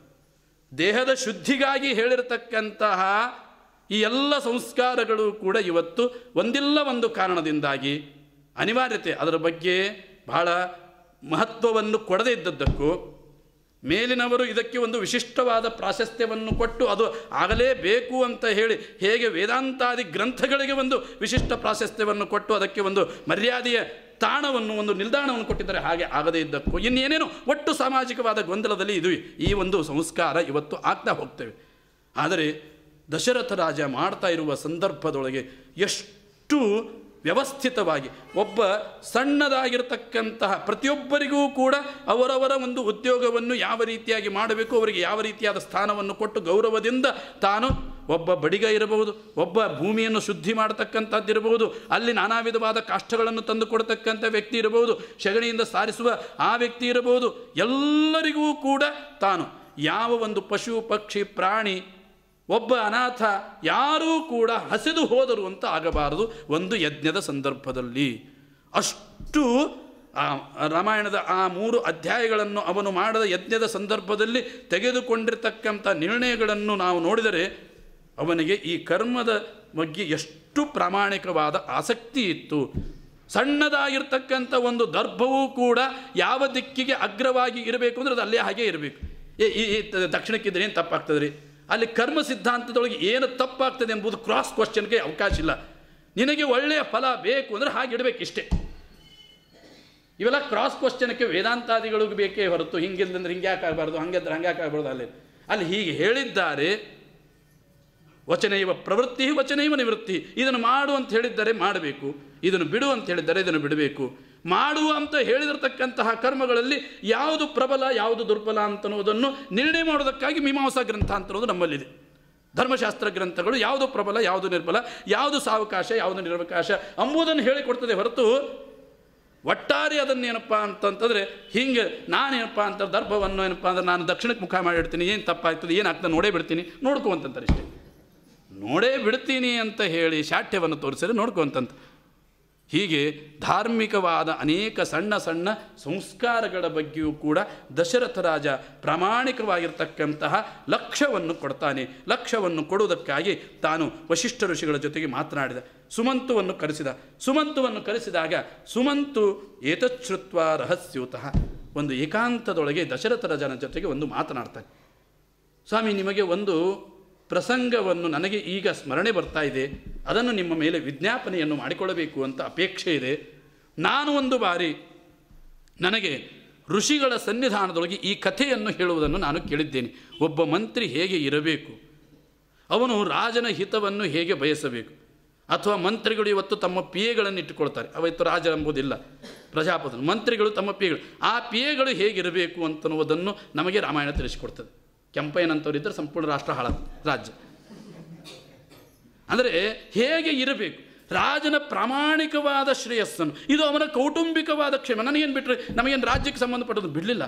ರಾಜನ ನೆಮ್ಮದಿ ಇದರೊಳಗೆ ಇದೆ ಅಂತಂದರೆ ಇದಕ್ಕೂ ನಾನು ಅವನಿಗೆ ಸೂಕ್ತವಾದ ಸಲಹೆಯನ್ನು ಕೊಡಬೇಕು. ನೋಡಿ ವಶಿಷ್ಠರಂತಹ ಮಹಾಬ್ರಹ್ಮರ್ಷಿಗಳಿದ್ದಾರೆ. ಅಂತಹ ಸಂದರ್ಭದಲ್ಲಿ ಸುಮಂತು ಇನ್ನೊಬ್ಬ ಪುರೋಹಿತರನ್ನು ನೆನಪಂದ್ರೆ ರೆಫರ್ ಮಾಡ್ತಾನೆ. ಭಾಳ ಕಷ್ಟ. ಎರಡು ಚಂಡಿಕಿ ಒಂದು ಕಡೆ ಕೊಡೋದು. ಆದರೆ ಕೂಡಿಸಿ ಇದು ಅದೇ ದೊಡ್ಡದು. ಸುಮಂತುವಿನ ಚಣಾಕ್ಷತೆ ಇಲ್ಲಿ ಭಾರಿ ಇದೆ. ಸುಮಂತು ಬಹಳ ಸೌಹಾರ್ದದಿಂದ ರಾಜನನ್ನು ಕೂರಿಸಿ ಹೇಳ್ತಾನೆ. ಅಂದರೆ ಸುಮಂತು ಅಥವಾ ಭಗವಂತನೇ ತನ್ನ ಒಂದು ಅವತಾರಕ್ಕೆ ತಾನೇ ಪೀಠಕ್ಕೆ ಹಾಕಿಕೊಳ್ತಾನೆ. ಋಷಿಗಳು ಒಂದು ಕಥೆಯನ್ನು ಹೇಳ್ತಿದ್ದಾರೆ ಯಾಕೆಂದರೆ ಭಗವಂತನ ಸನಕ ಸನಂದನ ಸನತ್ಕುಮಾರ ಇದು ಸನತ್ಕುಮಾರ ಅಂತನೋದು ಭಗವಂತನ ಒಂದು ರೂಪ. ತಾನು ಅವತಾರವನ್ನು ಮಾಡುವ ರಾಮಾವತಾರಕ್ಕೆ ತಾನೇ ಒಂದು ಪ್ರಸಂಗವನ್ನು. ನನಗೆ ಯಾರು, ನಾನು ಯಾರು ಪೌರೋಹಿತ್ಯವನ್ನು ವಹಿಸಿದರೆ ಬ್ರಹ್ಮಸ್ಥಾನ ಅಂತನ್ನೋದು ಆ ಪೌರೋಹಿತ್ಯದಲ್ಲಿ ಒಂದು ವಿಶಿಷ್ಟವಾದ ಮರ್ಯಾದೆ. ಸ್ಥಾನ. ಅಧ್ವರ್ಯು ಅಂತಿರ್ತಾನೆ, ಯಜಮಾನ ಅಂತಿರ್ತಾನೆ, ಹಾಗೆ ಬ್ರಹ್ಮಸ್ಥಾನ. ಅವನು ಮಂತ್ರ ಅನ್ನೋನಲ್ಲ ನಡೆಯುವ ಕರ್ಮಗಳೆಲ್ಲವೂ ಕೂಡ ಅವನು ಉಚ್ಚಾರ ಮಾಡುವ ಮಂತ್ರಗಳು ಸ್ವರಬದ್ಧವಾಗಿವೆ, ಚೆನ್ನಾಗಿವೆ. ಅದಕ್ಕೆ ಅನುಸ್ಯೂತವಾಗಿ ನಡೆಯತಕ್ಕಂಥ ಪ್ರತಿಯೊಂದು ವಿಧಿವಿಧಾನಗಳು ಕೂಡ ಚೆನ್ನಾಗಿವೆ. ಅವನ್ನೆಲ್ಲ ತಿಳಿದುಕೊಂಡಿರ್ಬೇಕು ಅವನು. ಅವನು ಮಂತ್ರನೂ ಕಾಣವಿಲ್ಲ. ಆದರೆ ಅವನು ತಿಳಿದುಕೊಂಡು ಅಸ್ತು ಓಂ ಅಂತ ಇದ್ದರೆ ಆ ಸ್ಥಾನಕ್ಕೆ ಬ್ರಹ್ಮಸ್ಥಾನ ಅಂತ ಕರೀತಾರೆ. ಅಂತಹ ಬ್ರಹ್ಮಸ್ಥಾನದೊಳಗೆ ಯಾರು ಇರಬೇಕು ಅಂತ ಹೇಳಿ ತನ್ನ ಅವತಾರಕ್ಕೆ ತಾನೇ ಪೀಠಿಕೆ ಹಾಕಿಬಿಟ್ಟಿದ್ದಾನೆ ಋಷಿಗಳ ಮುಂದೆ ಸನತ್ಕುಮಾರ ಹೇಳ್ತಾ ಇರುವ. ಋಷಿಗಳ ಮುಂದೆ ಸನತ್ಕುಮಾರರು ಹೇಳಿದರಂತೆ ಕಶ್ಯಪಸ್ಯ ಪುತ್ರೋಸ್ತಿ. ಕಶ್ಯಪ ಋಷಿಗಳ ಒಬ್ಬ ಮಗ. ವಿಭಾಂಡಕ ಅಂತ ಹೇಳಿ. ಆ ವಿಭಾಂಡಕ ಮಹಾ ತಪಸ್ವಿ, ಏಕನಿಷ್ಠ. ಅವನಿಗೆ ಋಷ್ಯಶೃಂಗ ಅಂತನೋ ಒಬ್ಬ ಮಗನಿದ್ದಾನೆ. ಆ ಋಷ್ಯಶೃಂಗನನ್ನು ಹೀಗೆ ಅವನು ಸೆಕ್ಯೂರ್ ಮಾಡಿದ್ದ, ಹೀಗೆ ಕಾಯ್ತಿದ್ದ, ಅವನಿಗೆ ಈ ಜಗತ್ತಿನ ಪ್ರಪಂಚದ ಸಣ್ಣ ಪರಿಚಯವಾಗಬಾರ್ದು ನರಪಿಳ್ಳೆಯ ಪರಿಚಯ ಆಗಬಾರ್ದು. ಇಲ್ಲಿ ಕೂಸು ಅಂದ್ರೇನು ಹೆಣ್ಣು ಅಂದ್ರೇನು ಗಂಡು ಅಂತಂದ್ರೇನು ಇಲ್ಲಿ ತಿನಿಸುಗಳೇನು, ತಿಂಡಿ ಅಂದ್ರೆ ಏನು ಬಳ್ಳಾರಿ ಸ್ವೀಟ್ ಯಾವುದು ಬೆಳಗಾವಿ ಸ್ವೀಟ್ ಯಾವುದು? ಬೆಳಂಗಳೂರು ಸ್ವೀಟ್. ಏನೂ ಪರಿಚಯ ಬ ಈ ಯಾವ ವಿಧವಾಗಿರ್ತಕ್ಕಂತಹ ಪದಾರ್ಥಗಳ ಮಿಶ್ರಣವನ್ನು ಮಾಡಿ ಏನು ನಾವು ನಾನಾ ವಿಧವಾದ ಪದಾರ್ಥಗಳನ್ನು ಸೃಷ್ಟಿ ರಸಮಯವಾದ ಷಡ್ರಸಗಳ ಪದಾರ್ಥ ನಿರ್ಮಾಣ ಮಾಡ್ತೀವಿ, ಇದು ಯಾವುದೂ ಪರಿಚಯವಾಗದೇನೆ ನಾಲಿಗೆ ನಿಗ್ರಹ ನನ್ನ ಮಗನಿಗಿರಬೇಕು. ಅಂತ ಹೇಳಿ ಅಷ್ಟು ಏಕಾಗ್ರವಾಗಿ ಅವನನ್ನು ನಾಗರಿಕತೆಗೆ ಪರಿಚಯ ಮಾಡದೇನೆ ಅಷ್ಟು ಬ್ರಹ್ಮಿಷ್ಠನಾಗಿ ತಪಸ್ವಿಯಾಗಿ ಕೇವಲ ಗಡ್ಡೆಗೆಣಸುಗಳನ್ನು ಮಾತ್ರ ಸ್ವೀಕಾರವನ್ನು ಮಾಡ್ತಾ, ಅವನು ಇರಬೇಕು ಅಂತೇಳಿ ಅವನನ್ನು ಅಷ್ಟು ಕಾಯ್ಕೊಂಡು ಇದ್ದ. ಇಂತಹ ಋಷ್ಯಶೃಂಗ ಇವನು ಆಶ್ರಮದಲ್ಲಿ ಇರುವ ಪ್ರಸಂಗ. ಆದರೆ ರೋಮಪಾದ ಅಂತ ಹೇಳಿ ಅವನು ದಶರಥ ರಾಜನ ಕಾಲದಲ್ಲಿ ಇರುವ ಅವನ ಮಿತ್ರನೂ ಹೌದು, ಸೋದರ ಮಾವ ಸಂಬಂಧಿಯೂ ಹೌದು. ಈ ರೋಮಪಾದ ಅದೇ ಕಾಲದ, ಅಂದರೆ ದಶರಥನ ಕಾಲದಲ್ಲಿದ್ದವನು ಅವನು ಹೇಳ್ತಾ ಇರೋದು ಸುಮಂತ ಈಗೇ ನಡೆದ ಘಟನೆ ಸ್ವಾಮಿ, ಕೆಲವು ವರ್ಷಗಳ ಹಿಂದೆ ನಡೆದದ್ದು. ರೋಮಪಾದನ ಸಾಮ್ರಾಜ್ಯದೊಳಗೆ ಹನ್ನೆರಡು ವರ್ಷಗಳವರೆಗೆ ದುರ್ಭಿಕ್ಷೆಯಾಯಿತು. ಭಯಂಕರ ದುರ್ಭಿಕ್ಷೆ. ಮಳೆ ಆಗಲಿಲ್ಲ, ಬಹಳ ಕಷ್ಟ ಆಯಿತು. ಕೊನೆಗೆ ಏನು ಮಾಡಬೇಕು ಅಂತ ತೋಚಲಿಲ್ಲ. ಆಗ ಅವನಿಗೆ ಜ್ಞಾನಿಗಳು ಹೇಳಿದರು, ರೋಮಪಾದ ಒಂದು ಕೆಲಸವನ್ನು ಮಾಡಬೇಕು. ವಿಭಾಂಡಕ ಋಷಿಯ ಮಗ ಋಷ್ಯಶೃಂಗ ಅಂತಿದ್ದಾನೆ. ಮಹಾಬ್ರಹ್ಮಚರ್ಯವನ್ನು ಪರಿಪಾಲನೆ ಮಾಡಿದ ಮಹಾ ತಪಸ್ವಿ ಅವನು ಅವನು ಬಂದು ನಿನ್ನ ಸಾಮ್ರಾಜ್ಯದೊಳಗೆ ಕಾಲಿಟ್ಟರೆ ಮಳೆಯಾಗತ್ತೆ ಇದೊಂದೇ ನಿನ್ನ ರಾಜನ ಪಾಪ ಪ್ರಾರಬ್ಧವಿದೆ. ರಾಜ ಪಾಪ ಪ್ರಾರಬ್ಧ ಅಂದರೆ ಮಹಾಭಾರತ ಹೇಳುವಂತೆ ಮಹಾಭಾರತದಲ್ಲಿ ಕುಂತಿ ಮಾತನ್ನು ಹೇಳ್ತಾಳೆ. ಬಹಳ ದೊಡ್ಡದಾದ ಅವಳು ಮಾತನ್ನು ಹೇಳ್ತಾಳೆ. ನಿನವೇ ನಾನು ಏನು ಧರ್ಮರಾಜನಿಗೆ ಸಂದೇಶ ಕೊಡಲಿ ಅಂತ ಹೇಳಿ ಕೃಷ್ಣ ಬಂದು ಕುಂತಿಗೆ ಸಂಧಾನಕ್ಕೆ ಬಂದ ಭೇಟಿಯ ಪ್ರಸಂಗದೊಳಗೆ ಹೇಳ್ತಾಳೆ. ಒಬ್ಬ ರಾಜ ತಾನು ಪ್ರಾಮಾಣಿಕವಾಗಿರ್ತಕ್ಕಂಥ ಪ್ರತಿಯೊಬ್ಬ ಪ್ರಜೆಗಳ ಹಿತವನ್ನು ಬಯಸ್ತಾ ಅವರಿಗೆ ಯೋಗ್ಯವಾಗಿರ್ತಕ್ಕಂತಹ ಕ್ವಾಲಿಫಿಕೇಷನ್ಕ್ಕೆ ತಕ್ಕಂತೆ ವೃತ್ತಿಯನ್ನು ಕೊಟ್ಟು ಅವರ ಜೀವನವನ್ನು ಪೋಷಣೆಯನ್ನು ಮಾಡ್ತಾ ಇದ್ದರೆ ಪ್ರತಿಯೊಬ್ಬ ಪ್ರಜೆಗಳು ಮಾಡಿರ್ತಕ್ಕಂಥ ಸತ್ಕರ್ಮದ ಪುಣ್ಯದ ಸತ್ಕರ್ಮದ ಫಲ ಇವನಿಗೆ ಬ್ಯಾಡ್ ಬೇಡ ಅಂತಂದರೂ ಕೂಡ ಇವನ ಅಕೌಂಟಿನೊಳಗೆ fifty per twenty five percent ಬಂದು ಬೀಳ್ತದೆ ಬ್ಯಾಡ ಅಂದರು ಇದು ರಾಜನಾದ ವ್ಯಕ್ತಿಗೆ ಏನು ಲಾಭ ಅಂತಂದರೆ ಆಧ್ಯಾತ್ಮಿಕ ಲಾಭ ಏನು? ಅವನ ಆಧಿಪತ್ಯ, ಅವನ ಸಂಪತ್ತು, ಅವನ ಸತಿಸುತ್ತರು ಅವನಿಗೆ ಭೋಗ ಇದೆ ಅಷ್ಟೇ ಟೆನ್ಷನ್ ಇರ್ತದೆ. ಸಣ್ಣವರಿದ್ದವರಿಗೆ ಸಣ್ಣ ಭಾರ ಹೆಚ್ಚು, ದೊಡ್ಡವರಿಗೆ ದೊಡ್ಡ ಭಾರ ಹೆಚ್ಚು. ದೊಡ್ಡವರಿಗೆ ದೊಡ್ಡ ಸಮಸ್ಯೆಗಳು, ಸಣ್ಣವರಿಗೆ ಸಣ್ಣ ಸಮಸ್ಯೆಗಳು. ಸಮಸ್ಯೆ ಇಲ್ಲದ ಸಾಮ್ರಾಜ್ಯವಿಲ್ಲ, ಸಮಸ್ಯೆ ಇಲ್ಲದ ಸಂಸಾರವಿಲ್ಲ. ಎಲ್ಲರಿಗೂ ಇರೋದೇ, ಅವರವರ ಮಟ್ಟಕ್ಕೆ ಅವರವರದ್ದು ಇರ್ತದೆ. ಅವರವರ ವ್ಯಾಪ್ತಿ ಎಷ್ಟು ಇರ್ತದೋ ಅಷ್ಟು ದೊಡ್ಡದು. ಸ್ವಾಮಿಗಳ ಸಮಸ್ಯೆ ದೊಡ್ಡದಿರ್ತದೆ, ನಮ್ಮ ಸಮಸ್ಯೆ ನಮ್ಮ ಸಣ್ಣದಿರ್ತದೆ ಅಷ್ಟೇ.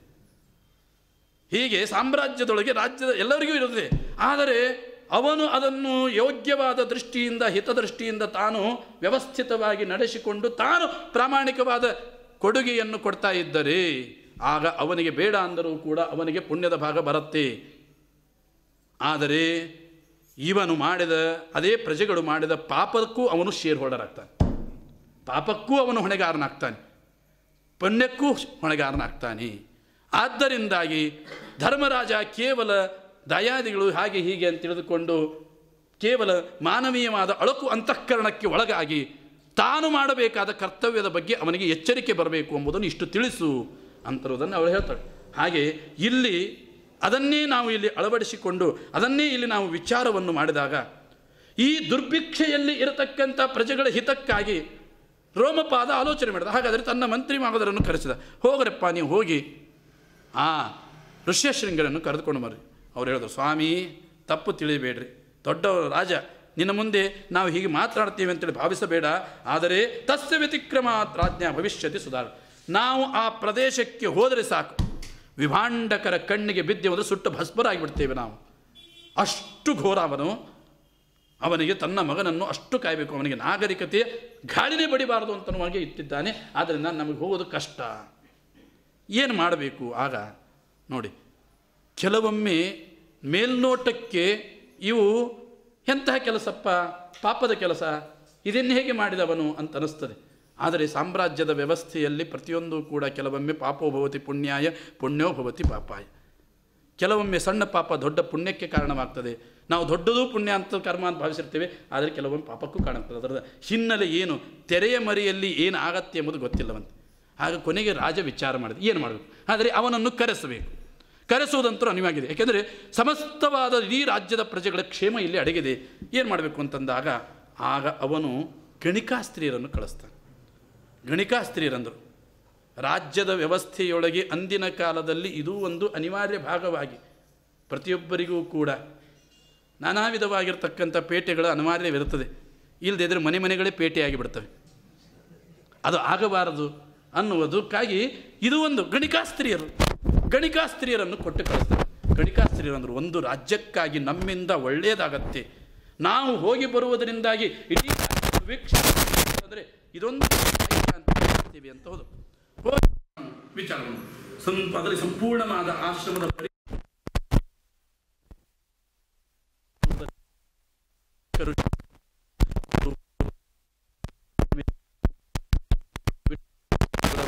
ಹೋಗಿದ್ದಾರೆ ಹೊರಗೆ ಅಂತ ಗೊತ್ತಾಯಿತು. ಹೊರಗೆ ಹೋಗಿದ್ದಾರೆ ಅಂತ ಗೊತ್ತಾಕ್ಷಣ ಆಗ ಒಬ್ಬೊಬ್ಬರು ಒಬ್ಬೊಬ್ಬರು ಏನಪ್ಪ ಅಂತಂತಂದರೆ ಆ ಋಷ್ಯಶೃಂಗನ ಹತ್ತಿರ ಬರ್ಲಿಕ್ಕಂತರು ಅವರು ಹಾಕಿದ ಮೇಲಿನ ಕಟ್ಟಿರ್ತಕ್ಕಂಥ ಈಗಿರ್ಗತ್ತೆ ಏನಪ್ಪ ಅಂದ್ರೆ ಎಲ್ಲಾರ್ದೇನು ಕಟ್ಟಂಗೆ ಇದ್ದಿದ್ದಿಲ್ಲ ಅವ್ರು ಒಳ್ಳೆ ಮೇಲೆ ಜಡೆ ಕಟ್ಟಿರ್ತಿದ್ದೆಲ್ಲ ನೋಡಿದ್ರು ಹುಟ್ಟಿದ್ರು ನೋಡಿದ್ರು ಅವನ ಇವರೆಲ್ಲ ಋಷಿಗಳಂತೆ ತಿಳ್ಕೊಂಡ್ಬಿಟ್ಟವ ಪಾಪ ಋಷಿಗಳು ಬಂದಿದ್ದಾರೆ ಅಂತ ಅಂದ ತಕ್ಷಣ ಅವ್ರನ್ನ ಕರೆದ, ಕುರದ, ಕೂಡಿಸಿದ, ಆತಿಥ್ಯ ಮಾಡಿದ, ಪಾ ತೊಳೆದ, ತಿನ್ಲಿಕ್ಕೆ ಕೊಟ್ಟ, ತನ್ನ ಗಡ್ಡೆ, ಗೆಣಸು, ಇವನ್ನೆಲ್ಲ ಕೊಟ್ಟ ತಕ್ಷಣ ಅವರು ಮೊದಲಿಗೆ ತಮ್ಮಲ್ಲೇ ತಾವು ಏನಪ್ಪ ಅಂತಂದರೆ ನಗತಾ ಮಗುಳಿಗೆ ನಗ್ತಾ, ಅವನಿಗೆ ನಾನಾ ವಿಧವಾದ ಕಣಸಣೆಗಳನ್ನು ಮಾಡ್ತಾ ತಂದರು, ಉಂಡ್ರು, ಅವನು ಕೊಟ್ಟ ಆತಿಥ್ಯವನ್ನು ಸ್ವೀಕಾರ ಮಾಡಿದರು.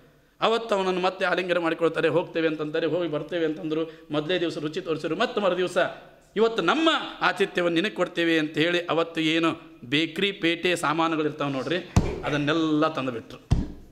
ಉಂಡಿ ತಂದರು, ಚಕ್ಲಿ ತಂದರು, ಅದು, ಇದು ಅಂತರೂ ನಾನಾ ವಿಧವಾಗಿರ್ತಕ್ಕಂತಹ ಪದಾರ್ಥಗಳನ್ನು ತಾವು ತರ್ತಾರೆ, ತಂದು ಅವನಿಗೆ ಯಾವಾಗ ತಿನ್ನಿಸ್ಲಿಕ್ಕೆ ಹತ್ರ ಒಂದು ನಮ್ಮಪ್ಪ ಇಷ್ಟು ದಿವಸ ಈ ಸ್ವೀಟೇ ಮಾಡಿ ಹಾಕಿಲ್ಲ, ಈ ಖಾರ ಭಜನೆ ಮಾಡಿ ಹಾಕಿಲ್ಲ, ಈ ಮಿರ್ಚಿ ಬಜಿ ಮಾಡಿ ಹಾಕೇ ಇಲ್ಲ, ಇದು ಎಲ್ಲಿತ್ತು? ನಾನು ಅವನಿಗೆ ಪಾಪ ಗೊತ್ತೇ ಇಲ್ಲ, ಏನು ಮಾಡಬೇಕು ಅವನು? ಇಂತಹ ಪದಾರ್ಥಗಳು ಇರ್ತವೆ. ಅಂತ ಹೇಳಿ ಆಗ ತಾನು ಆಲೋಚನೆಯನ್ನು ಮಾಡಿದೆ. ಹಾಗಾದ್ರೆ ನೀವು ಯಾರು? ನೀವೇನು? ಎಂತು? ಒಮ್ಮೆಲೆ ಅವರು ಒಂದು ಕಡೆಗೆ ನಡುಕು. ಎಲ್ಲಿ ವಿಭಾಂಡಕ ಋಷಿಯ ಕಣ್ಣಿಗೆ ನಾವು ಬಿದ್ದು ಸುಟ್ಟು ಹೋಗ್ತೇವೆ ಅಂತೇಳಿ ಗಾಬರಿ. ಆದರೆ ರಾಜ್ಯದ ಕ್ಷೇಮಕ್ಕಾಗಿ ಕಾರ್ಯವನ್ನು ಮಾಡಬೇಕಾಗಿದೆ. ಏನು ಮಾಡಬೇಕು ಅಂತ ತೋರಿಸಿದ್ದೇನೆ. ಕೊನೆಗೆ ಹಲವಾರು ದಿವಸಗಳವರೆಗಿದ್ದು ಸಂಪೂರ್ಣ ಈ ಋಷಿ ತಮ್ಮ ವಶನಾಗಿದ್ದಾನೆ ಅಂತ ಗೊತ್ತಾಕ್ಷಣ ಇಲ್ಲ. ನೀವು ನಮ್ಮ ಸಾಮ್ರಾಜ್ಯಕ್ಕೆ ಬರಬೇಕು. ಹೀಗೆ ಇದೆ ಅಂತಂದಾಗ ಆಗ ಅವರ ರುಚಿಗೆ ಮಾರು ಹೋಗಿದ ರಸ ಜಿತೆ ವೈ ಸಿದ್ಧಂ ಸರ್ವಂ. ರಸೋ ವೈ ಇದ್ದರೆ ಸಹಜವಾಗಿ ಎಂಥವನಿಗೆ ಬಿಟ್ಟಿದ್ದಲ್ಲ. ಆದರೆ ಬಂದಾಕ್ಷಣ ಆನಿಶ್ಯಾಮೋ ವಯಂ ವಿಪ್ರಂ ನ ಚ ದೋಷೋ ಭವಿಷ್ಯತಿ. ವಕ್ಷಂತ ಚಿಂತೆಯತ್ವ ತೇ ತಸ್ಯ ಉಪಾಯಾಂಶ ತಕ್ಷಮ ಎಲ್ಲ ಉಪಾಯಗಳನ್ನು ಮಾಡಿ ಆ ಗಣಿಕಾಸ್ತ್ರೀಯರು ಆ ಋಷ್ಯಶೃಂಗನನ್ನು ರಾಜ್ಯಕ್ಕೆ ಕರೆದುಕೊಂಡು ಬಂದರು. ರಾಜ್ಯಕ್ಕೆ ಕರೆದುಕೊಂಡು ಬಂದಾಕ್ಷಣ ಮೊದಲಿಗೆ ಹೆದ್ದಾರಿಯೊಳಗೇನೆ ಎಲ್ಲ ಮದುವೆ ದಿಬ್ಬಣ ತೆಗೆದುಕೊಂಡೇ ನಿಂತು ಬಿಟ್ಟಿದ್ದ ರೋಮಪಾದ. ಅವನ ಮಗಳು ಶಾಂತ ಅಂಥೇಳಿ ಅವನು ನಿರ್ಣಯ ಮಾಡಿಬಿಟ್ಟಿದ್ದ. ಈ ಹುಡುಗನನಿಗೆ ನನ್ನ ಮಗಳನ್ನು ಕೊಟ್ಟು ರಾಜ್ಯದ ಕ್ಷೇಮಕ್ಕಾಗಿ, ರಾಷ್ಟ್ರದ ಕ್ಷೇಮಕ್ಕಾಗಿ ನಾವು ಭಾಗವತದಲ್ಲಿ ಸುಕನ್ಯೆಯ ಕಥೆಯನ್ನು ಕೇಳುತ್ತೇವೆ. ಇಡೀ ಪ್ರಜೆಗಳಿಗೆ ಕ್ಷೇಮವಾಗತ್ತೆ ಅಂತಂತಂದರೆ ನನ್ನ ಸುಖವನ್ನು ನಾನೊಬ್ಬ ಮುದಿ ಮುದಕನ ಜೊತೆಗೆ ಕಳೀಲಿಕ್ಕೆ ಸಿದ್ಧವಿದ್ದೇನೆ.